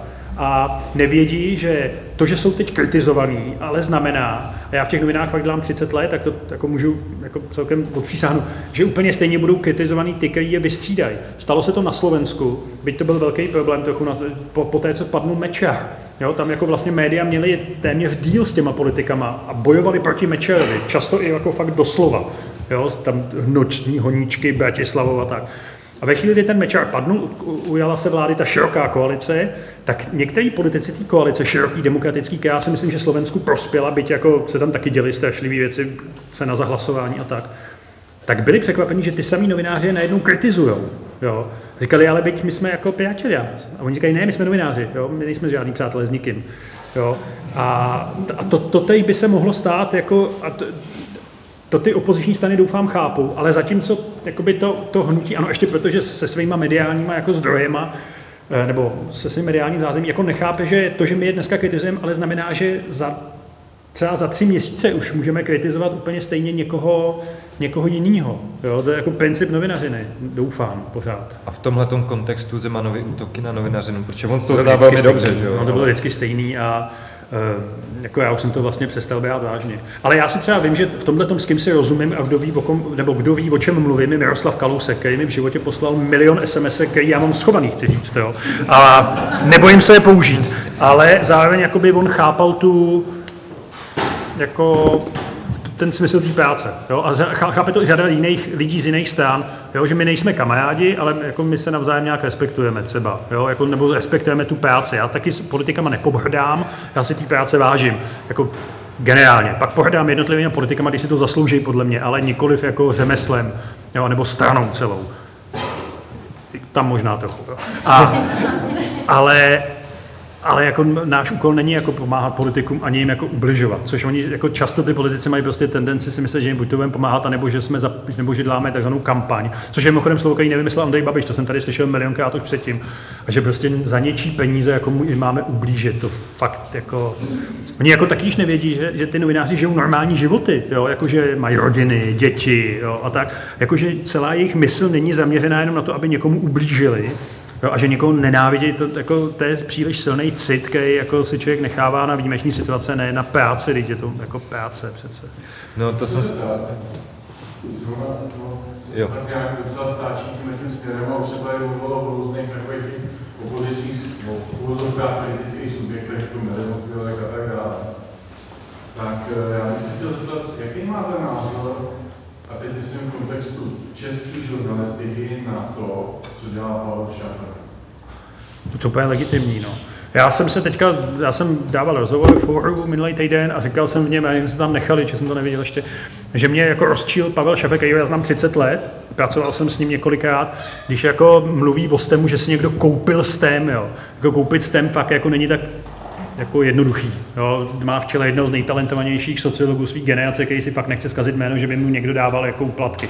Takže mně to přijde občas urputný, Jo, vím, o co mu jde, jestli to myslí jako upřímně. Já bych tam jakoby pracovat takhle až nechtěl, protože jako si zachovávám, nebo se snažím zachovat, nevím, jestli mi to vždycky jde větší nadhled, ale je to úplně legitimní a dělá to od nuly, jako s nulovým zázemím velk, nějakých jako velkých uh, biznismenů za sebou. Držím mu palce, koncert pražského výběru k 30 letům odchodu sovětské armády, kdy oni vlastně představovali ten, ty noviny tištěný, tak byl skvělý.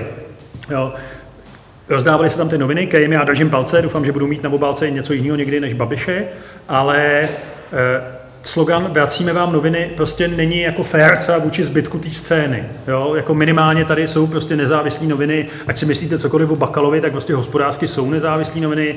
Je tady deník N, který to taky začal dělat od nuly ten, tohle mě štve, jo, jako to, tohle mě, ale zase jsem si to s tím Pavlem schopný, jak říkám, se známe 30 let, jako si to vyříkat. Jo. A je mi to vlastně sympatičtější než jiný případy. Já tady na to navážu, protože Martin Frič velmi rád používá slogan číst, eh, přemýšlet a pak jít volit. Co číst? Eh, a jaký jsou teda ty nezávislé noviny tady v Česku? Protože my jsme Spousta taková toho. maličká... No ono toho je... To, my to máme Daniel, nacvičený zase. Tohle je výborný. Tohle, ano, Daniel Prokop je jako mimořádná postava. Eh, já nebudu radit, co číst, jo. Já, já řeknu, co čtu já. Já čtu skoro všechno.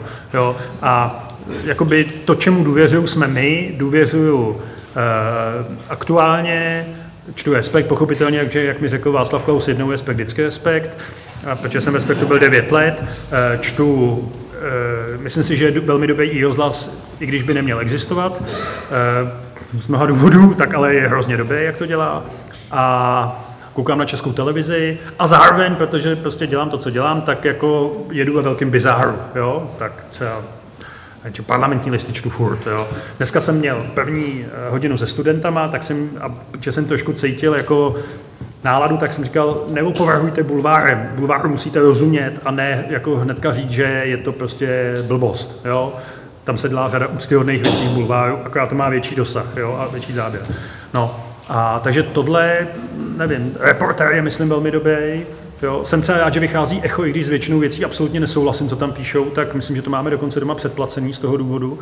A jako aby, aby to mělo nějakou podporu a jinak je to na každém. No. A teďka, když tady tím vším se prodíráte, teďka ještě musíte sledovat ty videa, být aktuální, sledovat Twitter, jak to můžete přežít? Protože já pohodě, já jsem si to vybral, jako já nic jiného neumím hlavně, jo, takže já to musím dělat, protože mě to živí a mě to jako baví navíc. Já teďka tu kampaň, já jsem úplně šťastný z té kampaně. Já jsem fakt jako, mě, mě se ty debaty na té primě prostě líbily. Já vím, že to bylo strašné, že to připomínalo prostě Stardance, jo, to vyřazování, což ne, a byl to absolutně, ned, v tu chvíli to byl úplně nedůstojný formát a nechápu, proč do toho ty politici šli, ale chápu, že když do toho šel jeden, tak museli i ostatní. Ale jako mě vlastně t, i, ten, i ten formát, z žádný debaty se moc nedozvíte, jako nějaký programový teze, kolik jim byste se rozhodli. Tady je jako smysl jenom vidět politiky pod tlakem, jak reagují pod tlakem což myslím, že to splnilo, nevím, jestli to muselo být dvakrát a tak, ale koukala na to dost lidí, takže mě, já mám tohle hrozně, já se těším, že mi bude smutno příští pondělí, jako ne z výsledků, s tím já se nějak srovnám, ale z toho, že už to skončilo, jo? že už jako nebudou žádný debaty a žádný prostě to, já to, no je to úlet, já vím, ale jako já to mám, já to fakt mám rád. No a čí debaty máte nejraději teda, když, když máte... To je jedno, kdokoliv, jako kdokoliv tam je. To, ne, tak jako mě bavily ty, mě bavily ty premiérský, jo? protože tam ty ty nejvyšší většinou jako jsou zárukou nějakého sdělení, nebo jak to říct. Jo. Takže mě to jako mě to prostě bavilo. A kdybyste měl vybrat podle kampaně? Ne, čistě jenom jako... Ne, ne, ne. Nebo hodnotit kampaně, ne, ne, ne, ne. která byla nejhorší podle vás? Sociální demokracie teda, jestli měla nějakou, jo, ale ona to měla dost stížený i, i finančně, i, myslím, že ta se nepovedla úplně, i když v poslední době jako nasazení Jany Maláčový je jako vlastně obdivuhodný. Nevím, jestli úplně pomůže ten Matěj Stopnický, ale možná, že už jako to je něco, čemu já nerozumím, protože to míří na jiný typu člověka já už jsem říkal kriticky o té kampani Pirátů, se mi zdálo v jednu chvíli, že byla špatná. Svýho času zdálo se mi, že vlastně hrozně funguje přísaha, taky proto to vyletělo. A pak jako kdyby jim někdo utnul peníze, mně přišlo. Jo? Že najednou nebyli. Jo? Teď zase trošku jsou. Eh, ano, má kampaň jako takovou, jako má, protože prostě Andrej Babiš má k, k dispozici nejlepší lidi a to fakt není Marek Prchal, jak čtu, jo? Jako to ne, nemluvíme o Marku Prchalovi, mluvíme o úplně jiných lidech a nemusí se vám to líbit, ale jako, on se to pak počítá podle toho výsledka. Znamená to, jak když byl nějaká soutěž Twitterku, která bohužel teda byla první a poslední ročník, což je škoda. Tak mimochodem to bylo pikantní, jo. říkat, kdo vyhrál hlavní kategorii, aby to neznělo neskromně, ale kategorii objev roku tam vyhráli tři lidi. Robert Záruba, Martin Veselovský a Andrej Babiš. A ten Andrej Babiš si tam tehdy, to byla akce v Národní technické knihovně v Praze, přišel. Nikdo nečekal, že přijde, někdo si myslel, že přijde někdo z Agrofertu a odejde. Tam vstoupil, usmál se, řekl dvě slova, předal šek na 300 tisíc nějakému domovu, nebo ne nějakému domovu Sea Rider, odešel a teď ten sál byl jeho. A já jsem tehdy pochopil, a napsal jsem to, že to nevymýšlím, že je to k dohledání, že jako on vlastně bude asi v komunikaci v těch, v těch volbách dost jako šikovný. Jo. A teď já jsem začal mluvit o něčem, já jsem samozřejmě zapomněl, kde, kde byl začátek, ale tohle to mi přišlo z hlediska toho Andreje Babiše vlastně jako zajímavý. Jo. Že tam on se tehdy projevil jako poprvé, že bude schopný s těma lidma navazovat nějaký eh, kontakt. No. No a když vezmete ty témata, které se budou generovat, teďka ty další čtyři Teď roky. už, jo, čtyři roky, já za ty teďka čtyři to, co dny, nás ne, teďka ty témata, co budou za ty čtyři dny, tam už toho moc nestihneme, ale co budou ty? No, abyste se nedivili, jo, jako, ono jaký litium jde udělat jako dost rychle. No a Panama Papers, eh, jak moc velký vliv myslíte? Nebude. Já si myslím, že to, že to nebude mít žádný vliv, protože naprostá většina voličů, a to nemyslím nějak arrogantně, jako netušíce problém offshore. Jo? A navíc o tom máme přece jenom ještě docela málo informací. Myslím, že to nebude mít žádný vliv. Jo? Že samozřejmě, že on, on už řekl, to, to, se dalo trochu čekat, že mu to porodila advoká, teda advokátní realitní kancelář. Jo? Já, si představuju to, jak jako voláte do realitní kanceláře, Remax, jo, a oni vám řeknou, ale offshore přes, a řeknete jasně, sežente mi chalupu ve Francii jako přes offshore. Tak to asi nebylo, ale to vysvětlení jako bude sedět, nebo bude konvertovat jeho voličům a budou mu věřit a myslím, jako, že to fakt ty lidi jako nezají, jako, že to nejsou schopní a to ne, ne, já nechci, aby to znělo jako arrogantně vůči voličům kohokoliv, jo ale myslím, že to, že to je příliš složitý. Jo, to téma, prostě offshoreový společnost. Mě na tom potěšilo to, že on nám celou dobu říká, že jsme kyperská společnost a sám vlastní chalupu přes jako panenský ostrovy. To mě přišlo jako hezký na tom, ale jinak si myslím, že to nebude mít žádný vliv. No a vy jste říkal, že budou možná předčasné volby za ty dva roky, dejme tomu. Co bude teda tou příčinou, nebo co budou ty horkých velkých, které jsou před náma? No odchod, odchod prezidenta. Jako to je, jsou, jsou, že jo, jsou tam jako dva body, které spolu velmi úzce časově souvisejí a který nemůžete přeskočit a zároveň k tomu můžou výst. Odchod prezidenta, to znamená prezidentská kampaň, to znamená možný nástup Andreje Babiše do té kampaně a předsednictví. Předsednictví skončí jak říkám, nikoho v Česku moc nedojímá a nezajímá, zvlášť potom, jak dopadlo to minulý, ale což bylo jako fenomenální, to fakt jsou schopni jenom Češi svrhnout si vládu uprostřed předsednictví, ať si o té vládě myslíte cokoliv. A, e, no a, a skončí předsednictví, skončí důvod nějaký vlády, si myslím, a budete mít nového prezidenta. Jo, tak v tu chvíli jako to vlastně i trochu logicky z toho vyplývá, že by mohli být, jako když, zvlášť jako situaci, kdy nebude nějaká jasná většina, kdy ta většina bude splácena, tak se to k tomu taková jako kompromisní, ne splácená, pardon, kompromisní, tak v tu chvíli to tak být může, ale nemusí to tak vůbec dopadnout, jako říkat, já vím, že říkat týden před volbama, který jsou řádní, že budou předčasní, je trochu jako úlet. Já se tam, ano. Já vím, že tato debata je dneska hrozně aktuální, ale já mám rád i nadčasové věci. A vy děláte podcast s panem Dobrovským. No, staří muži vzpomínají, tomu říká moje žena. No. A ten je za mě úplně skvělý, já to všem přítomným rád doporučil. To jste moc, to jste moc hodnej, děkuju. A chtěl bych se zeptat eh, vlastně v rychlosti, jak to vzniklo, jestli, protože tam padají věci, které jako nejsou ani vůbec neznámé. A tak jestli máte i reakce od těch to od person... Který se tam baví a ne, ne vždycky kultivovaně, ale, ale občas jako... Kriticky. Je, je, je, co se tam jako... Podstatně A jestli vás to bude ještě dlouho protože já jsem těšil na další. No, děkuji moc. Dneska mimochodem vyjde večer. Eh, nebo měl by být, pokud jsme to stihli, jo, tak teď by měl být. A vzniklo to tak, že mi zavolal Honza Dobrovský, jestli bych to s ním nechtěl dělat, protože se dělá hodně besed eh, paměti národa, což nešlo v tom lockdownu, tak jestli neskusíme spolu dělat podcast. A já jsem tehdy žádný podcast jako jediný v seznamu neměl, nevím z jakého důvodu. A asi, že mi není rozumět úplně, tak eh, to doháním šarmem na obraze, tak ne, tak jsem řekl jasně, zkusím to a začali jsme to dělat a vlastně nás jako překvapilo, že to má nějaký docela jako do, dost velký ohlas. To nás překvapilo oba, musím říct. Jako. A teď, když jsme byli nominovaní na tu křišťálovou lupu, což eh, jsem chtěl připomenout, že bude hlasování do křišťálové lupy. Taky se cvičený, jo? jo že se nehlasuje jenom podcast, ale je tam se na popularity video. A, tak, eh, tak eh, jsme z toho byli jako šokovaní. A bavit nás to bude, protože už teďka máme tam je spíš jako, bychom to chtěli dělat každý týden, ale to fakt ani jeden z nás časově nezvládne. A tak jako témata už máme, teďka vymyšlení další a e, uvidíme, jestli nám tu lupu věnujete, pak to bude další taková, ne, to nemůžeme vyhrát samozřejmě, já si dělám legaci, proti nám jsou skvělý podcasty typu Vlevo dole Václava Dolejšího nebo Lenka Kabrhelová, která letos už vyhrála všechno, tak by to taky snad nemusela vyhrát úplně všechno s Vinohradskou 12 a no, tak už, si... Už na sobě máte nějaký trestní oznámení teda za to, že jste někoho takhle sejmuli, ať už v tom podcastu? Ne, ne, ne, ne, ne. Jediný, co nás tehdy vyšetřovali, jak jsme zrušili pevní kolo prezidentských voleb v Ostravě, ale to, jsme, to, to nebyl záměr, to byl prostě vtipně, nenapadlo, že by to někdo mohl jako vzít vážně. A, ale asi jo, protože v druhém kole přišlo o 6% a ty rozhodli o vítězství Miloše Zemana, takže můžete mi poděkovat. A eh, tehdy to nebylo tak, oni nám ta policie tehdy víte, o čem mluvím, že my jsme řekli, že Miloš Zeman postupuje automaticky do druhého kola prezidentské volby, že to je jako v boxu, jo, jako že čeká ten vyzývatel nebo ten, ten držitel titulu na vyzývatele. A někdo to přepsal a dal to lidem do schránky v Ostravě. A to já jsem teda říkal, že je sprostý. Jo? Jako, že ať mi nekradou moje vtipy na, na, letáky. A navíc, že to skutečně mohlo ty lidi jako zmást a já nechci jako narušovat volební proces. A to, že to chtěli na DVDčku, když to bylo celou dobu na internetu, tak to bylo jako taková jenom pěkná tečka a nic se z toho nestalo a dáváme si na to jako pozor. No. Ale tehdy jsme byli jediní jako kontakt, jinak oni už ty trestní oznámení moc nedávají. To jako, navíc tam je řada lidí, o kterých mluvíme, a kteří třeba byli zastřelení a tak, tak ty už jako taky úplně... Ty už jsou v pohodě. Ty už jsou, ne, to v pohodě nejsou, ale... Tak já vám ještě tři otázky bych viděl na prostor z publikáť.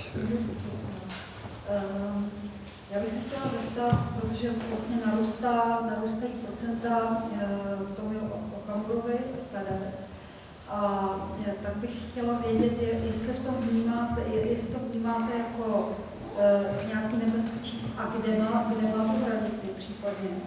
eh, ten nacionalismus a jestli, když to tady říkal, pokud by Andrej Babiš nebyl a rozpadl se ano, jestli tam vidíte, tam vidíte ten, ten možný vlastně cíl, ten přeliv. To, to, to si nemyslím úplně. To si nemyslím. A pokud je o Tomia Okamuju, Tomia Okamuju je obchodník který vám prodá úplně, co v tu chvíli budete potřebovat. Ještě před deseti lety seděl tadyhle v soutěži Miss Uprchlík, nebo co to bylo. Jo. Takže no, Miss Expat, tak, sorry, Miss Expat, ale jako uprchlík, vítejte. Jo. A e, dával na Facebook fotky z mešity, upozorňuju, jo, jako to bylo skvělé. Takže on jako není přesvědčený asista, ale chová se tak a odpovídá za ty nálady. Jo. A e, on podle mě moc, teď si možná myslí, že se snažil tu stranu trochu skultivovat, což mu jako jde obtížně, přiznejme si, ale jakože bych chtěl se k té moci nějak blíž dostat ještě. Jo. E, vlastně já si myslím, že on může mít ještě víc, než si teď myslíme, jo, že v těch průzkumech se to úplně neukazuje. E, je to bohužel běžný ledazny na světě, že takovýhle strany vyrostou. E, Miroslav Sládek nám svýho času přišel, což je fakt Okamura 1.0, jo. ten Okamura je vlastně Sládek s Facebookem jo. A, a, a z YouTube, protože taky jezdil těma drahýma autama, vlastně z toho měl srandu trochu, to ten Okamura má taky, ale je to nebezpečný, jaký nálady to v té společnosti. Jako... Takže já v tu chvíli fandím jako volnému bloku, a myslím si, že 3% pro volný blok by byl jako hezký výsledek, 3,5. A samozřejmě za to dostanu peníze a porvou se o to, protože to je ta parta, která v zásadě to má jako volební biznis, ale čím méně, tak tím líp. No, čím líp čím... A myslím si ale jednu věc ještě, že Andrej Babiš s ním vládnout nechce. Andrej Babiš nechce jezdit do Evropského parlamentu nebo do Bruselu a slyšet, že vládne s Polonáckem jo, což ten Tomi Okamura takovou pověst má. On chce vládnout jako z ODS nebo se spolu, Andrej Babiš, zjevně, to je úplně jasný. Jo. Na to člověk nemusí být nějak jako velký analytik. A ten Okamura je fakt jako nebezpečný tím, co v těch lidech vyvolává. Ten Balda je prostě jeho pomník. Jo, to je, za to může a odpovídá ta strana tím, co říkala, tím, jak toho člověka vlastně jako mu vymila mozek s prominutím. Jo. A, ale jako zároveň je jasný, že se toho...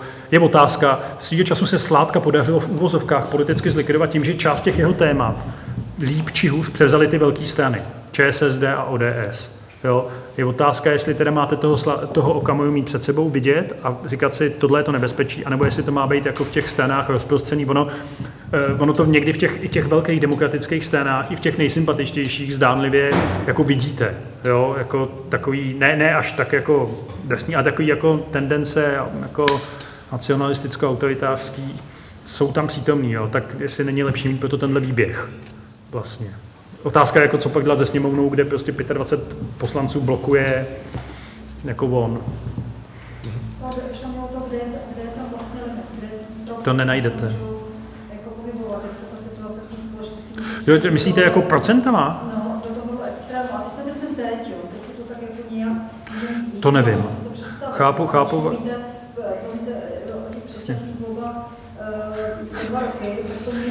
To jsem nechtěl. To jsem nechtěl a neměl. Jasně. Ale předčasný volby vždycky znamenají, že, něco, je, špatně. Že se vám rozpadne starý systém. To znamená ano, je to možný, nevím. My jsme, jak jsem říkal, jsem minulý týden byl na tom Znojemsku, tak tam se už pro některé ty voliče v těch jako fakt nejzdecimovanějších obcích, a to je obec, kde my máme chatu, takže jako jí máme rádi, ale zároveň víte, jak to tam vypadá jo, a jak se tam vyvíjí za poslední roky, tak tam se pro část těch voličů už i tomu je Okamura stal zrácem. Jo, jako neúspěšný zrácek je jenom kecá a jako nedoručuje ty výsledky. Tam teď jako něk, tyhle ty lidi pak volej volnýho.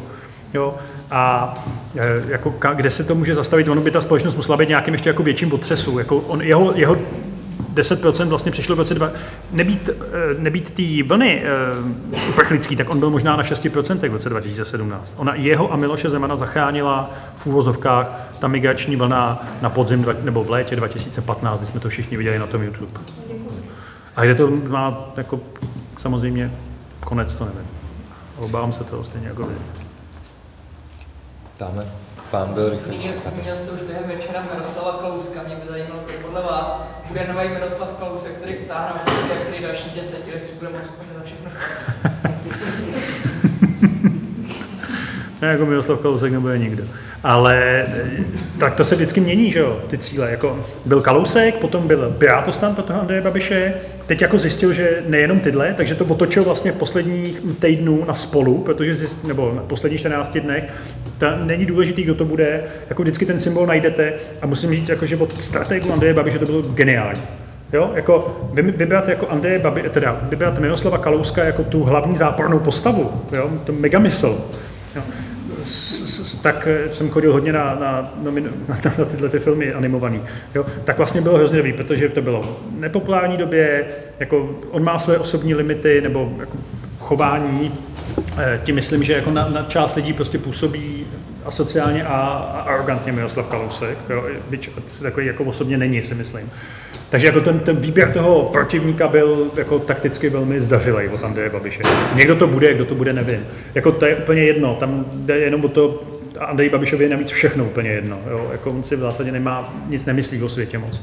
Tak jako stačí, když mu toho člověka vyberou. Ale je pravda, že takhle silná prozona, jako je Miroslav Kalousek, se bude hledat jako obtížně, což jako je mimochodem problém celé ty opozice, když vám po čtyřech letech jako tady nevyroste jako důstojný, stejně silný soupeř tomu Andrej Babišovi při vší úctě k těm opozičním lídrům, tak jako na té straně Babiše není nikdo takovýhle jako jedno, jednoznačný. Jo? Takže někoho najde, to se nebojím. Když bude ještě chtít. Když jsme mluvili o knihách a o Pavlu Šafrovi, tak se trochu nabízí otázka na Andreje Babiše mladšího, jestli má potenciál. Ne. Myslím si, že ne. A já se na ten musím teda přiznat, že já se na to jako dívám s čím dál, teď už to naštěstí trochu pominul, ale v jednu chvíli už mi z toho fakt bylo špatně, jako, jako nedobře. Já se nedívám na takovýhle jako téměř antický, antický drama, e, jako Samozřejmě, jako když máte tadyhle zámeček ve Francii, tak proč necháte svý dítě odvízt na Krivojok, je jako otázka, která je navždy nezodpověditelná. A zároveň jako ten, ten vstup do kampaně mi prostě přišel zvláštní. No. Já na to žádný silný názor nemám. Nebo respektive mám, jako byl jsem z toho znechucený. A zároveň to neříkám jako vůči Andrej Babišovi mladšímu, jako celý to celou tou situací. A já nevím, jestli jako jestli tam v tom jede jenom Pavel Šafer, že s ním točil, uh, točil Vít ten film, jo, byl bych teda šťastnější, kdyby se v té kampani jako postava Andreje Babiše mladšího neobjevila a kdybychom se někdy dozvěděli, jak to bylo s tím Krymem. To přece jako není, no, není normální, to mě na tom přijde neuvěřitelný, že premiér členský země, on ještě nebyl premiér, ale vlastně byl skoro premiér členský země na to, pošle svý dítě na Krym. Na dovolenou. Odpočet. Ne, nevím, co by museli dělat moje děti, jako, jak by museli zlobit, jo, abych jako je poslal na Krym. Ale budu tím vyhrožovat teda někdy. Joze, Josefině, si nebude spát, až přijedu domů, tak... Tak Donbass teďka. Zkusíme krivoj rok. tak. To ještě, jak si vysvětlujete, že kdyby se na Babiše provalila jakákoliv nehoráznost, tak těma to je Trumpův efekt, že jo? Kdybych zastřelil na pátý avenue člověka, tak to s tím nehne.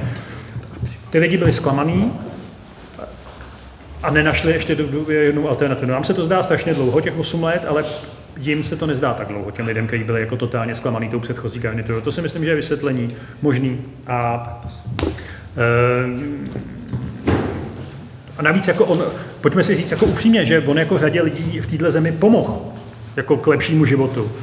Jakou to má cenu? A je to typicky, eh, to říkám tom podcast teďka, co vyjde, nebo historku o zpěvákovi skupiny Pokes, Shaneu McGovanovi, který celý mládí říkal, pojď mi 10 liber, pozvu tě na drink. Jo. Tak to je způsob, jakým se tady dělá politika. Jo. A, e, takže těch důvodů je jako tolik. Ale je pravda, že že jako způsob, nebo to, co, to, co nám třeba chodí do redakce jako reakce voličů Andreje Babiše na naše texty, kritický vůči Andreji Babiše, ono se jim samozřejmě může zdát, že jich je moc a tak, to já úplně všechno respektuju, je vlastně, ostatní jsou ještě horší. A to, to je to, na co Andrej Babiš hraje v té kampani. On říká, možná nejsem dokonalý, to mimochodem já už Pavel Ben v Praze v roce 2010, ale znáte mě a víte, co bude mě čekat, ale od nich nevíte. Jo? Což je vlastně chytrá taktika. A pro řadu lidí ještě pořád Andrej Babiš je přijatelnější než to, než co zažili předtím. Což je prostě jako problém, který v Liberci nemusím vysvětlit. Nebo změna. Pro spoustu lidí jako má jako takovou jako pověst jako Robina Hooda Což je neuvěřitelné. Jako krade, jakoby, ale jakoby krade nejenom pro sebe, že on jakoby, tam, jakoby krade, ještě, ještě pro Agrofert. Jo, že vlastně on krade jakoby pro ty své firmy, a ty firmy zaměstnávají ty lidi. Jo. A že vlastně krade pro ty lidi, aby, mohli, aby, aby je mohl platit. Já bych, jo, takhle. Já bych teda neřekl, že slovo krade bych si já nemohl dovolit, ale je pravda, že když jako platíte 100 milionů v dotacích na, na, tousto, na linku na toustový chleba, tak člověk si musí mít hodně silný důvod, jako aby si to zdůvodnil, že jako firmě, která má zisk kolik 3,8 miliardy mě, nebo ten jako, tak jako platíte ještě dotaci na, tousto, na linku na toustový chleba. No. Musíte si to asi zdůvodnit takhle. Já uh, si dovolím pár ještě posledních věcí, jasně. protože ten čas už se nám blíží. Jasně, jasně. Uh, já tam mám na vás jednu takovou poslední otázku, poměrně jednoduchou. Jak to dopadne, nevím. A nedostanete to zemí. Do politiky teda taky ne, nepůjdu. nejdete, nejdete. Ne, nejdu, nejdu. Uh, ne, tak mám dvě otázky. Jak by se jmenovala vaše strana, kdybyste si založil stranu politickou? To je taková jako... Já nikam nejdu. Kdyby, je to... Nevím, ne, teď mě to fakt nenapad. To už existuje, to je... ne, já nevím. Ne, fakt to, to ne. jako mimochodem, že jo, teď, teď je ten, jako nazývat to úplně jinak, než jako, než ty tradiční strany, které byly zkratkama těch, že ODS, ČSSD, KDU, tak jako ano, není jako nic, jako oni to nějak nazývali, ale jako vlastně je to geniální marketingově top taky, vlastně jiný způsob pomenování, já nevím, jak by se to mohlo jmenovat, jo. Super, nebo jako... Ne, nevím. Ne, já to mám... hlavně, hlavně to potom nebudu přemýšlet. Já tu, já tu klíčovou otázku, nebo to, co třeba já bych si z tohohle z dnešní diskuze chtěl odníst, co má být vlastně, proč vy říkáte, 30 let pracuju v novinařině, máte za svou úspěchy, máte poměrně širokou posluchačskou základnu, eh, píšete, musíte se probírat i bahnem, eh, si... vás to teda baví, ale, no. ale jako jste o toho bahna. to baví, no. Eh, ale co má být vlastně tím, jak, tím testamentem, něčím tím, co po vás vlastně tady zůstane na té omíce. Čekajte, až nekončí, ne? Až za těch 30 let skončíte, jo? Nebo 40, dejme tomu. Ne, co, co, co je tím smyslem? Proč to děláte pořád? Jednak nic neumím jinýho. A, Nic jiného nevím, baví mě to a jako já, ne, ze mě asi nedostanete nějakou jako velký slova jako o novinářské odpovědnosti a, a moudru, nějaký moudr. Jako, ale já cítím jako jistou odpovědnost za to za zemi, v jaký žiju. Jo? A můžu to dělat jako několika, několika prostředkama. Můžu to dělat jako ve svém bydlišti, můžu to dělat se svýma dětma, kterým se snažím něco vštípit a pak, se, pak můžu tu společnost neznat ovlivňovat, ale můžu přispět jejímu chodu tak, jak si myslím, že to je správný. Jo? Já jsem léta dělal zpravodajství, jsem vlastně reporter povoláním nebo základem, takže jsem se, to je blbý slovo, co no. A takže jsem se jako snažil prostě ten svět popsat tak, jak, jak si myslím, že je, jo, ze všema souvislostma. Tak teď to dělám jinou formou, dělám to komentářově, ale jakoby popisuju svět taky, jaký si myslím, že jako je. No. To, víc, víc toho nevymyslel, doufám, že jste teda jako nic nepřivolal, jo? Jako s tím testamentem. ne, ne, ne. Já mám za sebou pouhých 30 let, já jsem jak Marek Benda, já, mám, já jsem v polovině. Jo? Jako, upozorňuju. Tak to se máme ještě na co No jo. Pevně věřím, že tady v Liberci nejste naposledy a že Určitě budeme ne, i příští týden žít v nějaké pravdě a že nám tu pravdu pravdivě popíšete, uh, takže bude, že bude hezky sarkastická a já vám moc děkuji za, za vaši účast tady. Uh, Můžu něco říct? Já vám moc děkuji a... za to, že jste přišli, protože mě jako jsem překvapený, kolik lidí přišlo a moc si toho vážím. Jako opravdu. Děkuji moc. Do Liberce kdykoliv. A samozřejmě. A protože...